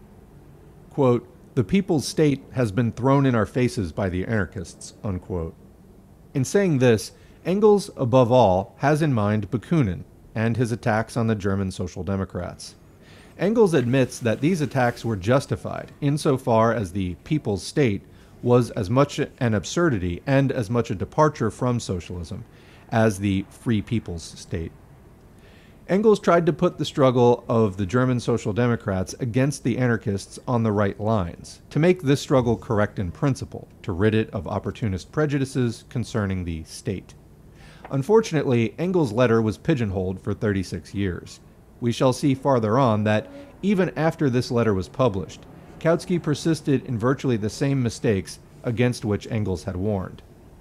Bebel replied to Engels in a letter dated September 21, 1875, in which he wrote, among other things, that he, quote, fully agreed with Engels' opinion of the draft program, and that he had reproached Liebknecht with readiness to make concessions but if we take Bebel's pamphlet, Our Aims, we find there views on the state that are absolutely wrong. Quote, the state must be transformed from one based on class rule into a people's state. Unquote. This was printed in the ninth, the ninth edition of Bebel's pamphlet. It is not surprising that opportunist views on the state, so persistently repeated, were absorbed by the German Social Democrats, especially as Engels' revolutionary interpretations had been safely pigeonholed, and all the conditions of life were such as to wean them from revolution for a long time.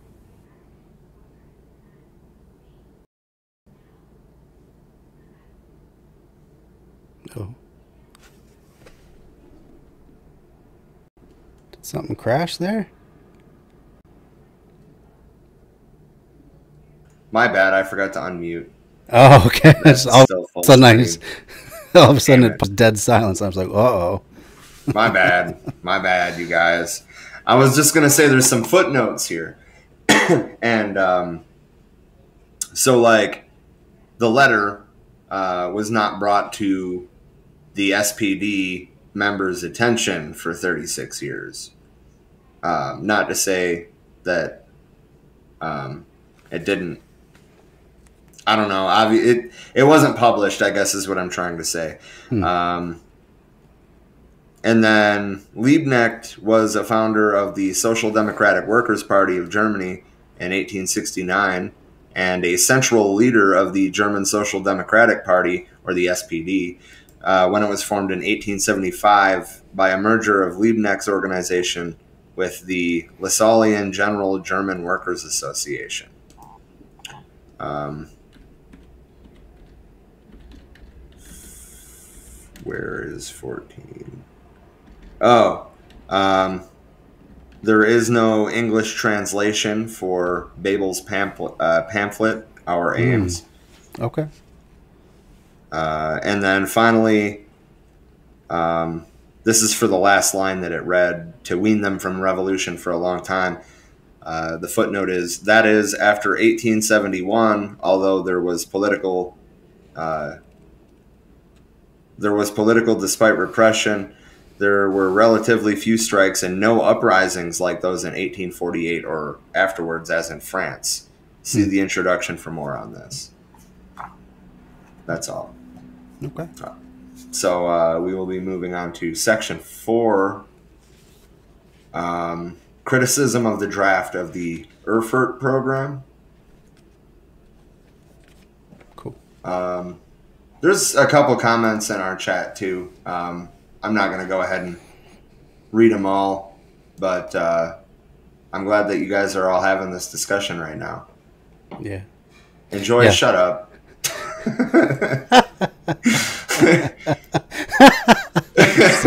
I see what you're referring to there. Uh, in, in in my chat, they, they were recently discussing the, the best wine pairing with uh, eating the rich. So Oh, that's that's been fun Oh. to see that play out as well. Oh man. anyway, into uh, section four. If you don't have anything else to. No, no, we can move on. Okay. Section 2 Criticism of the Draft of the Erfurt Program. In analyzing Marxist teachings on the state, the criticism of the draft of the Erfurt Program, sent by Engels to Kautsky on June 29, 1891, and published only 10 years later in Neue Zeit, cannot be ignored, for it is with the opportunist views of the Social Democrats on questions of state organization that this criticism is mainly concerned. We shall note in passing that Engels also makes an exceedingly valuable observation on economic questions, which shows how attentively and thoughtfully he watched the various changes occurring in modern capitalism, and how for this reason he was able to foresee, to a certain extent, the tasks of our present, the imperialist, epoch. Here is that observation, referring to the word planlessness used in the draft program. As characteristic of capitalism, Engels wrote, quote, When we pass from joint stock companies to trusts, which assume control over and monopolize whole industries, it is not only private production that ceases, but also planlessness. Unquote. Here we have what is most essential in the theoretical appraisal of the latest stage of capitalism, i.e., imperialism, namely, that capitalism becomes monopoly capitalism. The latter must be emphasized because the erroneous bourgeois reformist assertion that monopoly capitalism or state monopoly capitalism is no longer capitalism, but can now be called state socialism and so on, is very common. The trusts, of course, never provided, do not now provide, and cannot provide complete planning. But however much they do plan, however much the capitalist magnates calculate in advance the volume of production on a national and even on an international scale, and however much they systematically regulate it, we still remain under capitalism. At its new stage, it is true, but still capitalism without a doubt. The proximity of such capitalism to socialism should serve genuine representatives of the proletariat as an argument proving the proximity, facility, feasibility, and urgency of the socialist revolution, and not at all as an argument for tolerating the repudiation of such a revolution and the efforts to make capitalism look more attractive, something which all reformists are trying to do. But to return to the question of the state, in his letter, Engels makes three particularly valuable suggestions. First, in regard to the Republic. Second, in regard to the connection between the national question and state organization. And third, in regard to local self government. In regard to the Republic, Engels made this the focal point of this criticism of the draft of the Erfurt Program.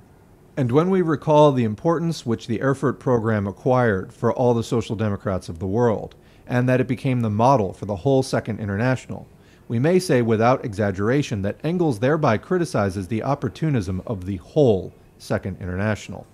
Quote, the political demands of the draft, Engels wrote, have one great fault.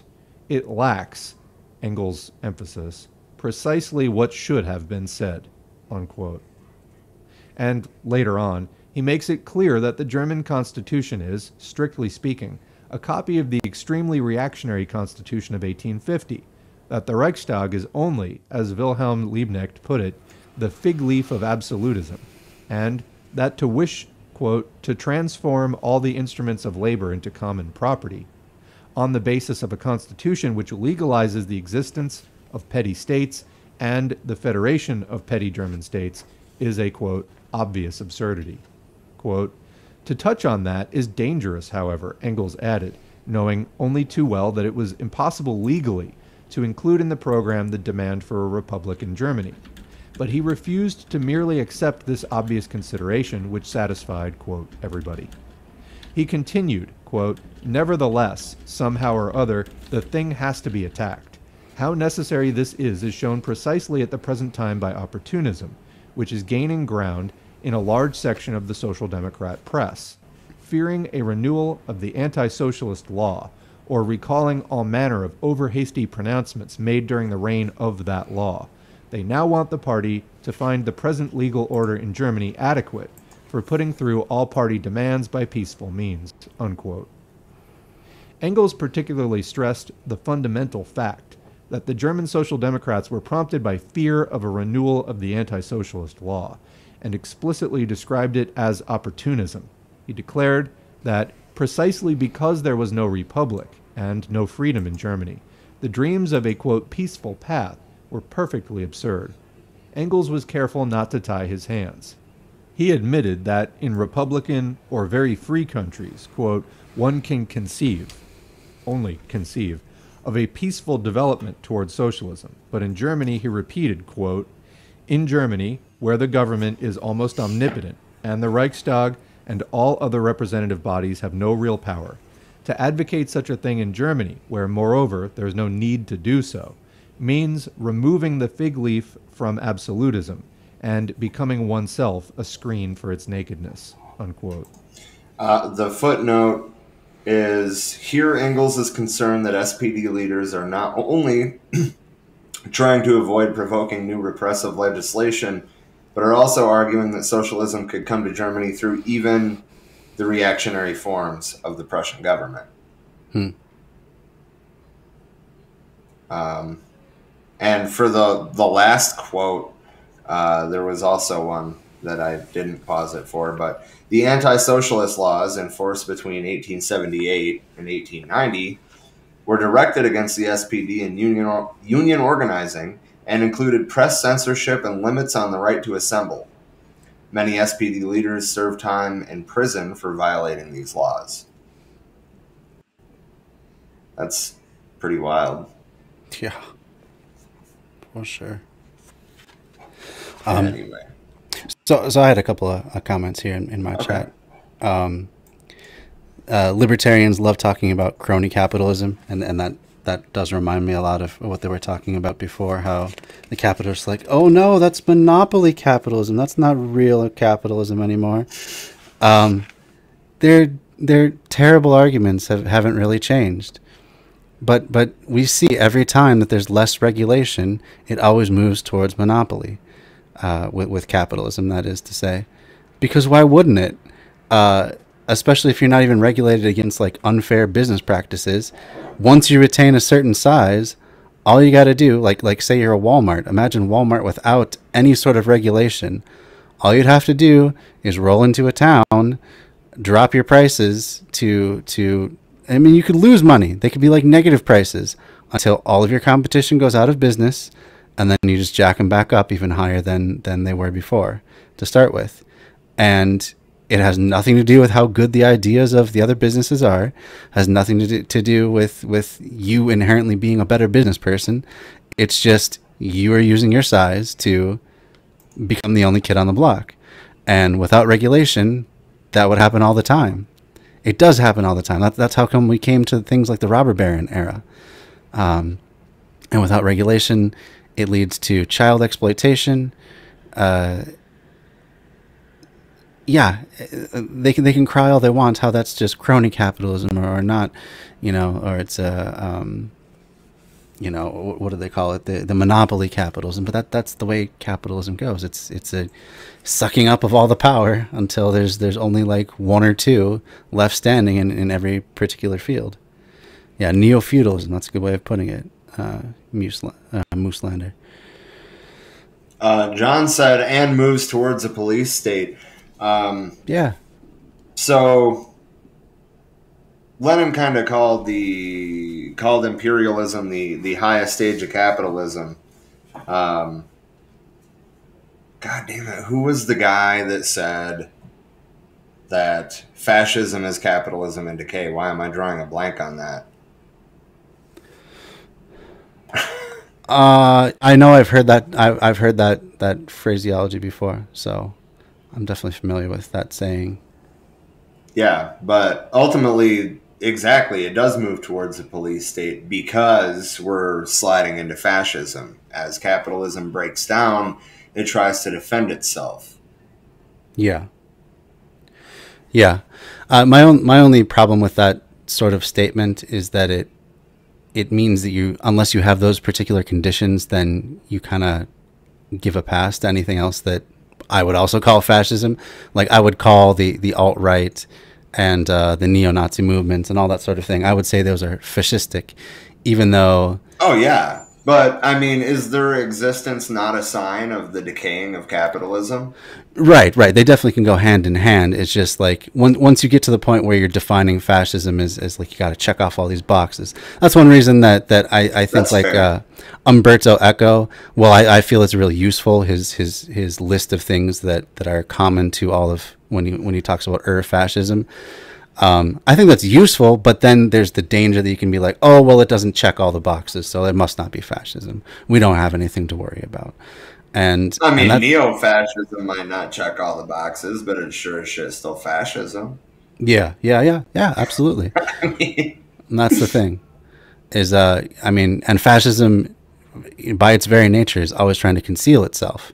There's a reason Yeah. that the, that the the klan wears hoods. There's a reason that you know nazis are always uh, changing their rhetoric and the, and the, the the terms they use to try to get around things is because if you just put it out there people are just revolted by it. And uh, so you have to sneak it in very slowly. Um, and and also it also it has the tendency to just superficially adopt any sort of ideology as long as it moves it towards a, a, a greater center of power so it can it can shapeshift and seem like a lot of different things but when it comes down to it, it it's it's all about just enforcing a certain order where I mean it, it, it it's like capitalism it, it is very much like capitalism to the extreme it's Yeah. where it'd be like capitalism, but only white men can be on the top, and there's absolutely no legal way that anyone else can be. Um, that would be like what fascism would be. So That's fair. Uh, Wade said, "Fish stick sounds like a great thing to call fascist." I, I think that he's referring to when you said fascistic. fascistic, yes. Don't mistake that for fish sticks. Fascistic, and hopefully your, your fish sticks are not fascistic. Send them back if, if you notice that. That was good. That was good. That was good. Anyway, uh, back to the text, I guess. Yeah, yeah. Let's keep going. All right.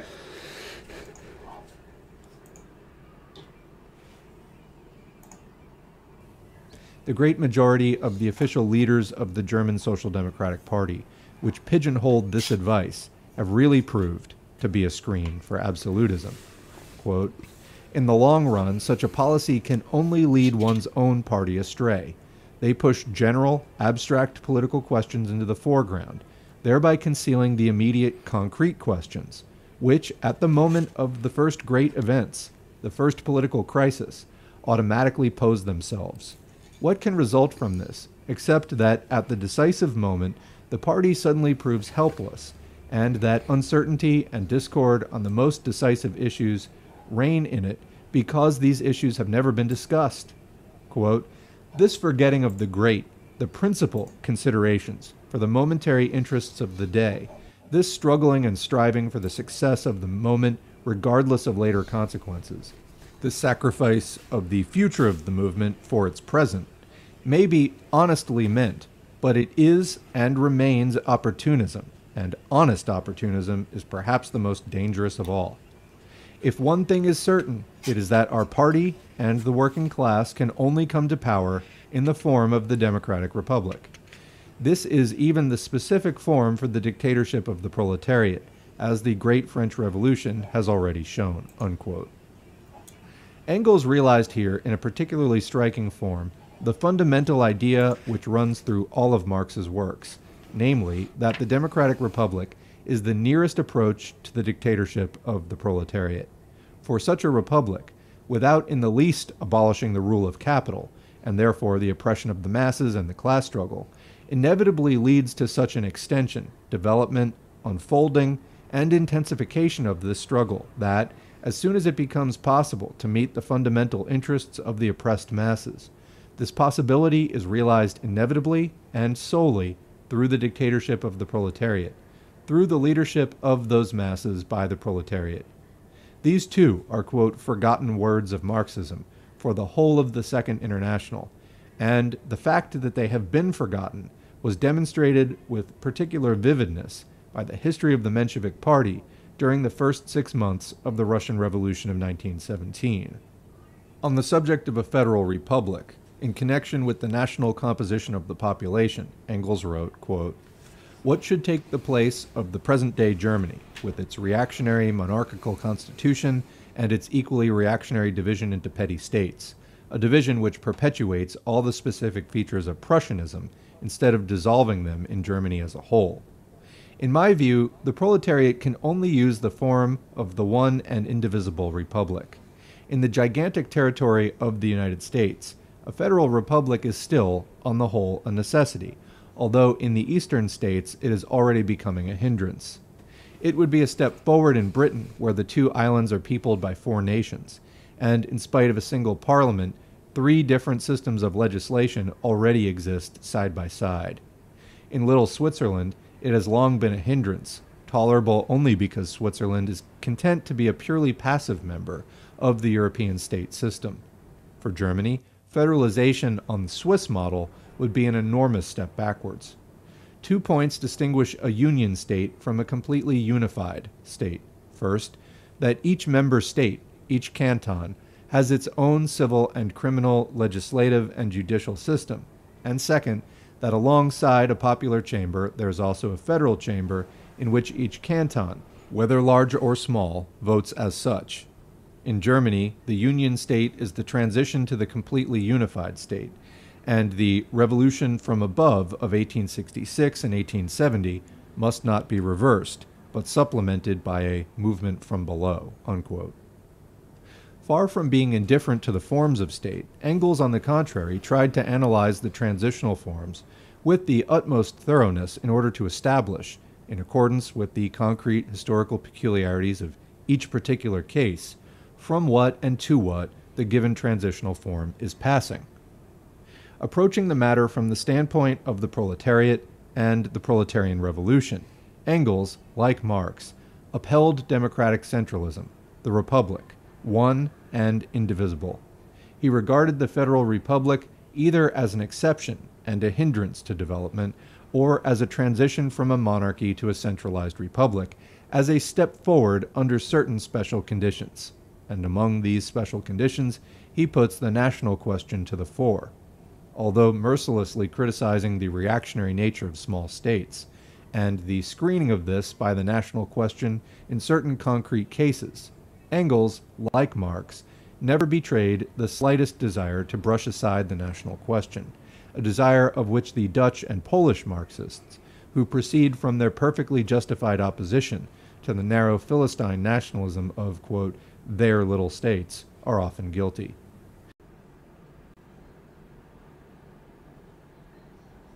You're muted.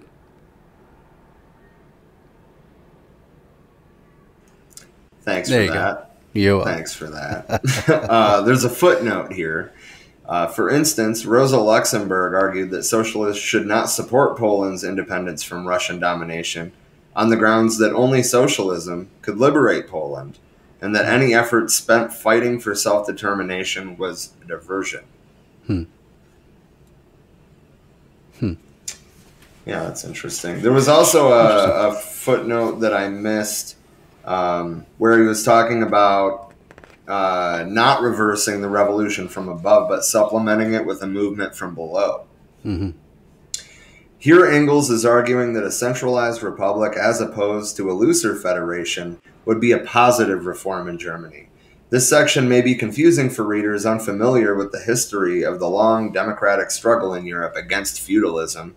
Uh, much like the transition out of capitalism is going to be very difficult hmm and will certainly cost lives. The same can certainly be said about the transition from feudalism. Oh, absolutely.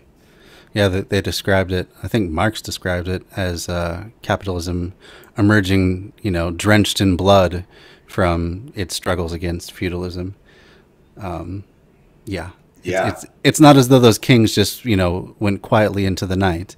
They they, they tried to retain power just as much as, as capitalists are are trying to retain power now. Yeah.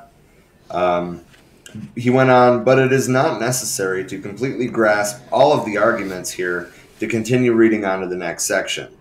Liberal, radical, and socialist thinkers of the 19th century all advocated replacing the old feudal and feuding local uh, principalities dominated by local landed aristocrats with large unified and democratic nations as an important reform, especially in Germany and Italy. See my comment in the notes on the previous chapter about segregation and in the United States and defense of states' rights. Um, obviously, I'm not going back to read the previous notes. But uh, yeah. Do you have anything you want to add in there? Or? Uh no, no. I, I I guess I don't know enough about the the local history of the time to add too much. Yeah, Uh, same. That's I like- that's why I always try to read these footnotes because I don't Yeah, really yeah. know the context either. Sure. I, I like Wade's comments there. That foot must be getting full of notes, uh, up to ankle notes. yeah, right. right. He also said it does, but the ideals seem to have been inspirational, at least to some degree. Um, are, eh, are you talking about the transition out of feudalism, or are you talking about um, the national question? Hmm.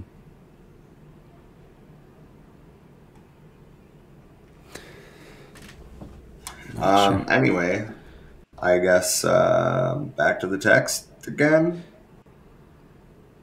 Uh, Do you got One more. comments?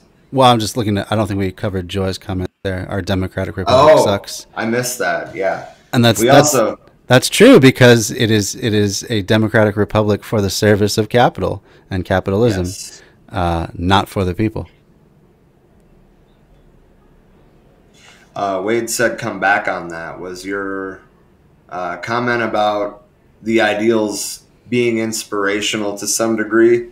Um, was that about uh, the national question, or was that about what was the other thing?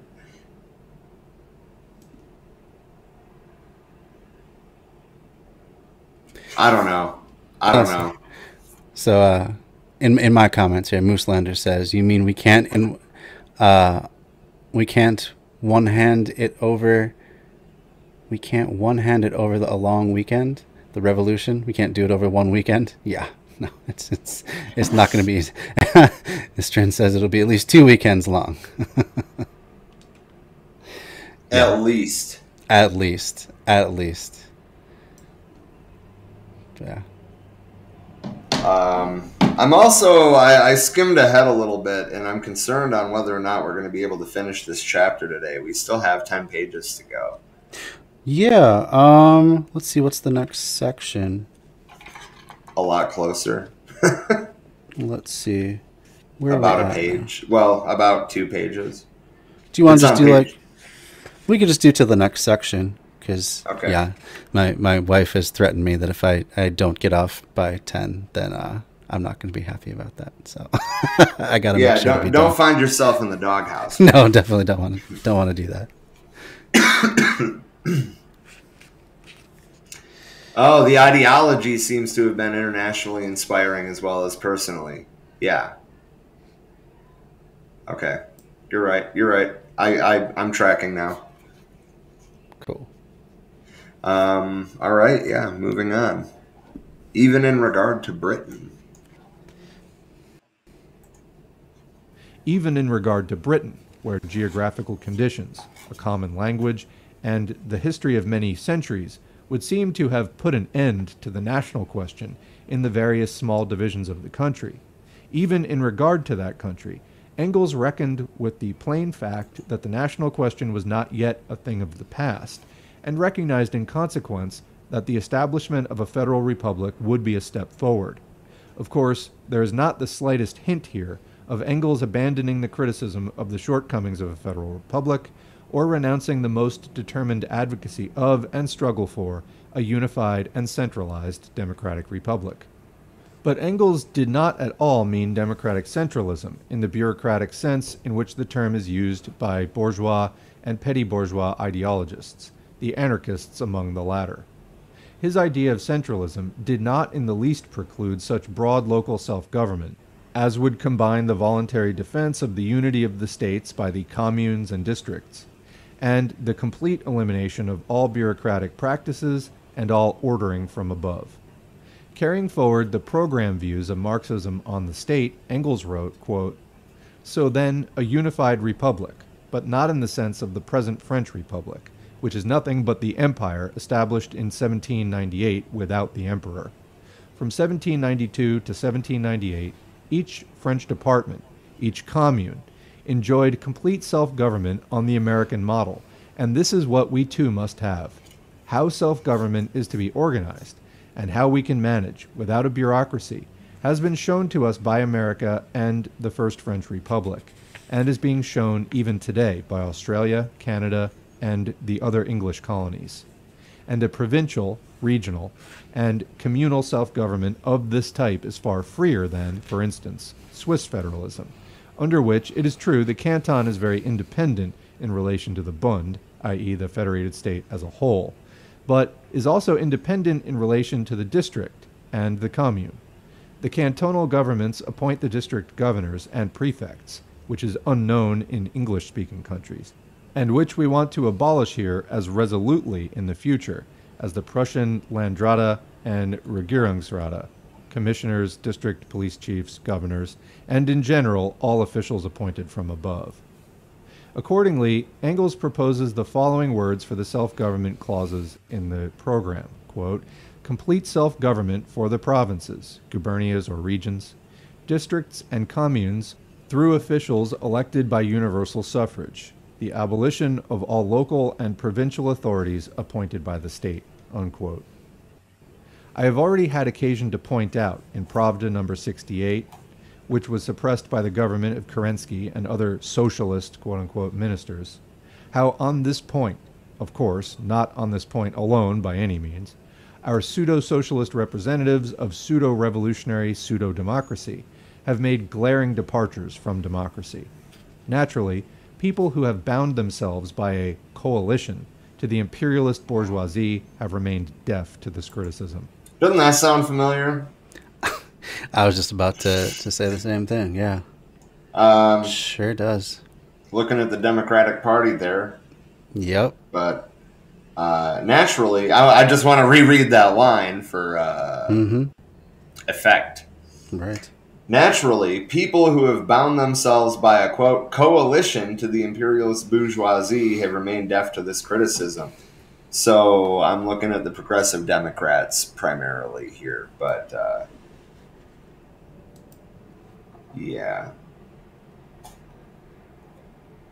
Um, there is a there is a note here. Uh, Lenin cited Pravda number sixty eight. He wrote several articles in this issue of Pravda, and it is not clear which specific article he is referring to here. Although he does refer to the SR's and Menshevik's refusal to publicly disclaim Russian annexation of oppressed nations and peoples uh, as a result of the war. Mm-hmm. That's all. That's cool. Yeah, I don't have anything else for that. Okay. Um, Wade said, I know what they taught us, seeded my current stances, uh, again, in regards to our democratic republic. And I can totally agree with that. I mean, if, if our democratic republic func- functioned as we're taught in school that it is supposed to, I probably wouldn't be sitting here reading State and Revolution with you today. Right. Um, Yeah, But- it's it's funny how we've never reached that democratic ideal where we allow uh, such large powers to organize themselves autocratically. That being the the, the private business interests. Uh, kind of weird how that works out when you allow power to all be siphoned to the top in one realm of life, but but claim that that in another, it's uh, uh everyone's on a level playing field. Yeah, and John said uh, the national question means the elimination of all forms of oppression based on race, nationality, and ethnicity.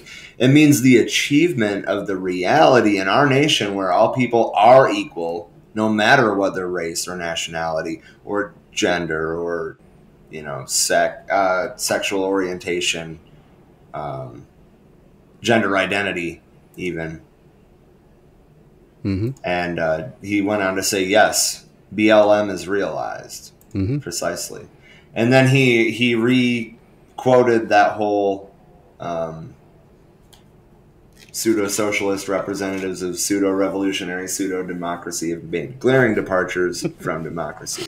Fucking Yeah. solidarity, bro. Hell yeah. Are you reading along, or did you just like pull that out of your ass?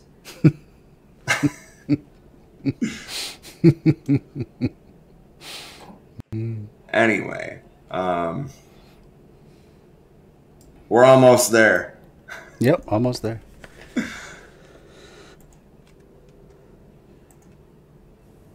It is extremely important to note that Engels, armed with facts, disproved by a most precise example the prejudice which is very widespread, particularly among petty bourgeois Democrats, that a federal republic necessarily means a greater amount of freedom than a centralized republic.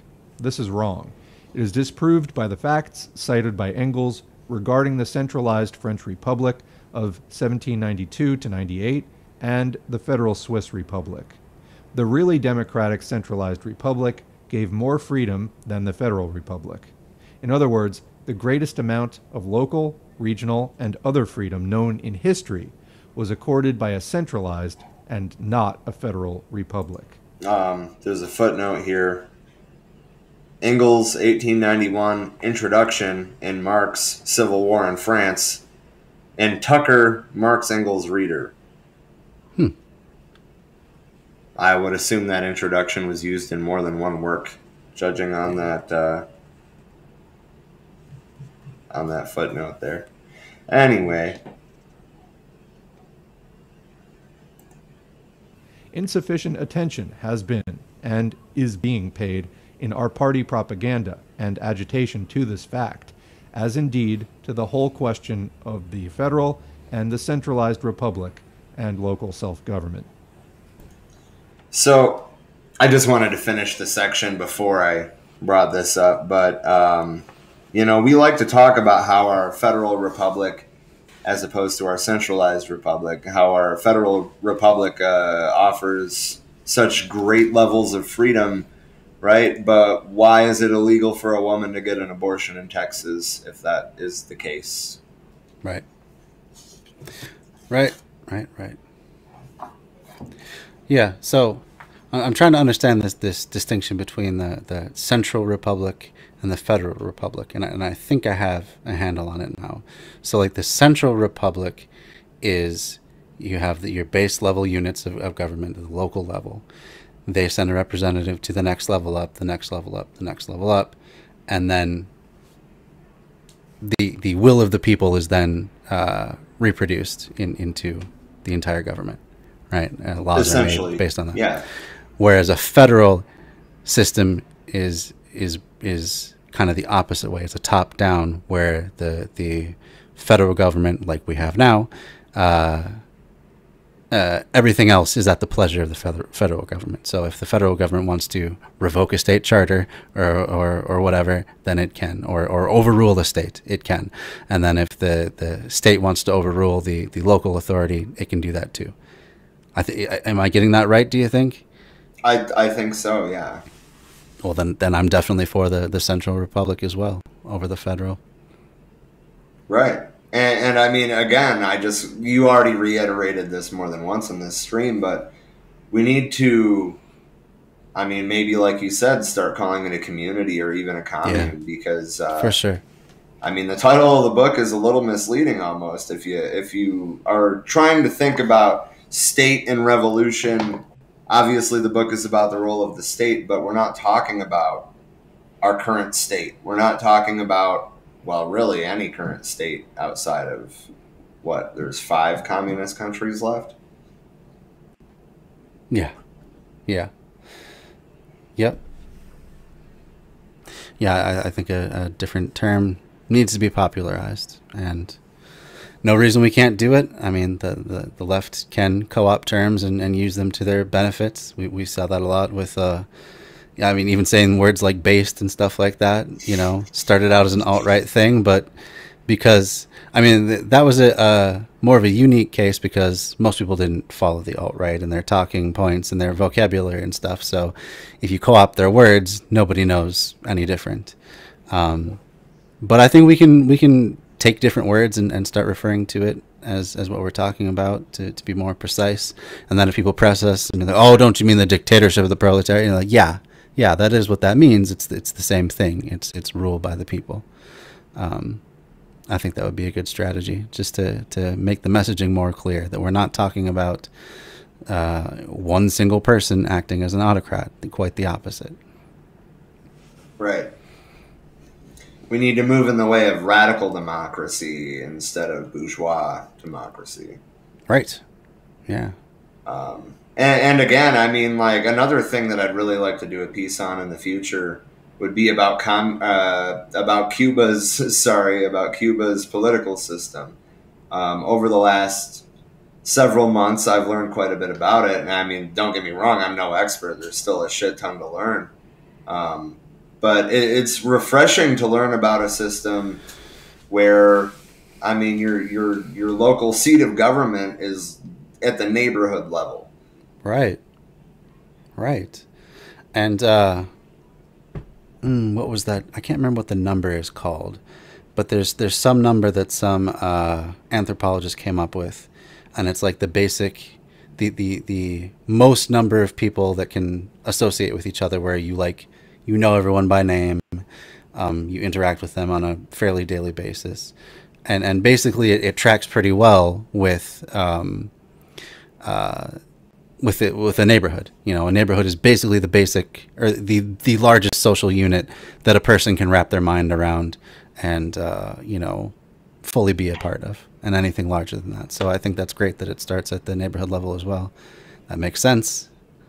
Um, right, and I mean, like I. I understand why we why we critique it as a top down system, but mm-hmm. like in getting even a base understanding and how it actually operates, it's more quite the opposite. Um, I mean, sure, you got the president to rubber stamp things, but you know those decisions are made before they get to his desk. Yeah, ninety percent of the time. Yeah. Yeah, yeah. I, would like to learn more about uh, the those socialist states that have held on and, and how close to that model they, they actually work and practice. Um, yeah, that's just one area that I haven't looked into all that much myself. Seems, Same. Seems like I've been I've been focused on uh, you know catching up on basic theory. Really, yeah, yeah, me as me as well. I mean, it, it uh, from the little I know of Cuba, it seems like they're they're you know fairly close to that sort of a model, which is is one reason you see um, the the party in power getting what what is it like 95 98% of the vote each time is because you know decisions are actually coming from the local level at least that's what it seems like i could be wrong on that but right right and i mean by all means if my perception of the cuban government is wrong i mean show me I'm I'm more than open to that. But no, I'd like to do a whole dive on it someday. But Cool. Yeah. we'll yeah, see when we'll definitely see when that happens. Yeah, future collabos. yeah, I don't think I really have anything to add though. Um, I'm the learning a deeper lot. into this, yeah, the deeper into this book we get, the the less like questions or like statements of my own I I feel like I feel like I have to make. Like he covered his bases pretty well, considering that. Well, from our perspective, hindsight's always twenty twenty. For sure. Yeah. Yeah. I mean, at, at least the way he's laying things out, it makes perfect sense to me. Uh, seems like, I mean, if you could realize this sort of a vision, that it would be a pretty great place to live where you'd feel pretty empowered uh, just by participating at the local level. So, yeah, that's cool. Very cool. Indeed. I just want to give a shout out to uh, Jam Tomb Bread Crochets and Strin Samusuni. Samusuni? Sam? I don't know. If I- I, I- butchered that, I'm sorry. I just call them Strin. I, I've given up on the, the second half of the name. So, Strin, yeah. Fair. Where are they commenting for, and Uh, they, they didn't comment. They uh, followed. oh they followed. oh cool yeah uh, uh, Strin and bread crochets have, have been in my community for, for a while now so. Awesome. Awesome. very cool. Yeah go go check out if you if you're watching my stream go check out for wearemany.org um, and find them on on Facebook. They have the for we are many uh, page as well as as a couple of different groups. Yeah he's, he's pulling up right now. Go check out Yeah. their stuff. Really great great content. Great community that, that they've built there um, and i'm happy to be one small part of that Yeah, I mean, well, okay. So first of all, don't search for support group. I still haven't changed this slide. Um, it's actually called the Education and Discussion Group now, and has been for, for like four months. yeah Um, but yeah, um, that group has. Well, we've taken our time growing it because we were kind of concerned about trolls, but uh, you know now we're well over 800 people, and most of the conversations in there stay civil. Um, yeah yeah, I Yeah. mean, we, we, there was that, that brief period where the libertarians were we're Making- trolling that one post. Yeah. oh Oh my god. you know bless, bless their hearts as, as they like to say in the south Uh, Which is funny because we just shared it around to a few leftist groups on Facebook and let Someone the must have- chaos ensue. Yeah, was, uh, Someone must was- have been bored and, and trolling for some leftist groups to, to go own, which, yeah. I, I would tend to think that that backfired. Every single one of them gave up. Oh, they, they yeah, yeah, because I mean that's all they have. They they have their their five or six talking points. Get a you know make your own job if you don't like the one you you are. Become your own boss because you know, that's just available to everybody, and everyone could just be an entrepreneur. We don't have to have people like you know serve in a diner. Yeah, everyone can just be a diner owner, or or uh, you know, we don't have to have workers for a trash collection route. Just have an owner. I mean, it, it, it's it's ridiculous. So that that's one of the, the one of the, one of the ones they always say: become an entrepreneur, as though we can all do that. And then uh, capitalism is so great because it's lifted so many out of poverty. Which let's just ignore China and the USSR uh, coming out. Of, I mean, especially like the well, I mean both of those really coming out of of uh, uh, basically feudalism in in the USSR's case, raising the the standard to the point where they were on par and even beating us in the space race within just a few years. Uh, and then in China's case, um, having abject poverty, poverty for 800 million people and bringing them all up out of poverty uh, before the time that, that they always like to refer to with um, them adopting more uh, capitalist policies or capitalist friendly strategies. Uh, so yeah. well, the- I mean, you know, but if a billionaire tries to cheat on his taxes in fucking China, then they seize his company and fucking throw him in prison. I mean, come on. I mean, that's definitely a step above what we got to. So, But but yeah yeah they they so once they've cycled through their like five or six talking points, then they really got nothing else to say, and they just get mad or bored, and they just leave. So right, right. Um. Uh, anyway, though, I I don't think I have anything else to add. Um, Cool. I mean, if you wouldn't mind uh, pulling up the, the Facebook group, the um, Left Signal Boost, for just one second and putting it up on screen. I just want to uh, give a little plug to, to what we're doing with that recently. That's fair. Give me just a second here. Sure thing. I'll stop that screen share so I can start a new one.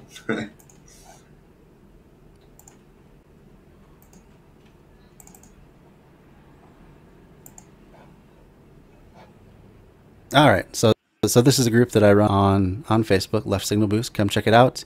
Really great community. Um, we do everything from memes to uh, sharing of, of different leftist content. We have a database that we've we've put together, also called Left Signal Boost. You can check that out as well. But the the thing we're doing recently is we're having our second annual Lefties Award show. So so uh, in opposition to all the different uh, capitalist um, self-promotion sort of award shows, this is this is a, a from the, the bottom up approach, and, and, of course we don't take ourselves all that seriously. It, it's it's mostly for fun and for exposing people to more leftist content. But uh, starting in October, we're going to be opening up the nominating process. Anyone who's a part of Left Signal Boost or a part of Left Pod Posting, which is another group of mine, or a part of For We Are Many, can nominate people in, in any of the categories that, that we are going to be putting out there uh, for the best. Usually, we'll take a category like YouTuber, so it'll be like the best um, single uh, YouTuber channel, and then the best single YouTube video of, of the past year. Uh, and then we're going to have an award show. We're going to, well, I'm sorry, I'm jumping the gun. So once the nominating process stops, we're going to have voting, which again will be open to, to everybody and we're just going to go by what the people want. And then we're going to have an award show day after Thanksgiving, uh, or U.S. Thanksgiving, I should say. And we're going to have uh, presentations of all the awards. If, if any of the creators actually want to show up, if, if we actually get that kind of uh, notoriety, then that, that'll certainly be a part of it. But otherwise, we're just going to hang out and have fun and, and uh, review some of the best content across many different platforms. I think last year we had something like uh, between 10 and 15 different platforms that we covered, and, and this year probably even more because we have an even larger community this year. So come be a part of that. Um, it's really going to start getting going here in October. So yeah, just thought I'd give a plug for that. Sounds good. I guess while we're plugging, I will uh, bring you into the For We Are Many education and discussion group. Um, why, why is that a notification? Zero people want to post or comment for the first time. Let me review those zero requests. Yeah, yeah, better double check. Um, so yeah, I mean, uh, well, actually, you posted this as uh, it's probably a right wing psyop or cops. Yeah. Um, you know, so we're we're Pose, posing as Antifa.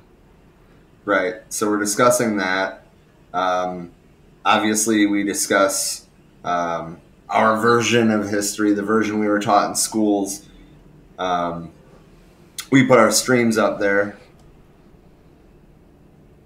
Um, you know, like some of it's memes uh, lots of lots of uh, news stories, you know, things that are happening. Um, actually, this um, we need to be listening to indigenous voices anyway, as I already said. But this uh, story right here, I think, is a pretty big deal. Uh, six tribes are suing the state of Wisconsin to try to stop the November wolf hunt. Basically, there was one in February. There was supposed to be a quota of 119 wolves, and 218 were killed. And furthermore, the tribes are supposed to get half of those natural resources. Um, and they're basically, for the November hunt, they set the cap uh, at 300 instead of the DNR's recommended 130. Um, mm-hmm.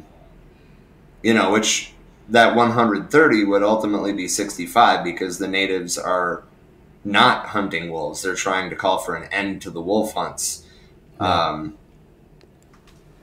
you know, so basically they're like, oh, well, if you're not going to hunt yours, then we'll just double the quota and fucking, you know, the half quota is still um, more than what was recommended by the DNR. But the, the point is, though, there's a lot of things in here um, that, you know, we try to have a conversation about fucking everything Yeah, ultimately. Um, definitely. Yeah, it's a yeah, good I place. guess I don't. I guess I don't got anything else to add. No, that, no that, that's perfect. Yeah, you guys have great conversations. So We try. definitely. Um, the only one last thing that I actually do have, and then I mean, I'm done anyway. sure. Uh, Trisha wanted me to apologize to Zach and everybody in the audience um, for not making it on tonight. She's been trying to get her uh, carpet steamed for a little bit now, and well, it took longer than expected. Ultimately, no problem. We, we got plenty of future chapters to cover and future books, so there'll be plenty more opportunity to to all collaborate again. So hope hope your carpets are, are, are sparkling now. indeed. Um, two two more comments because Joy's funny. Joy nom- nominates me for best narrator and herself for most annoying commie.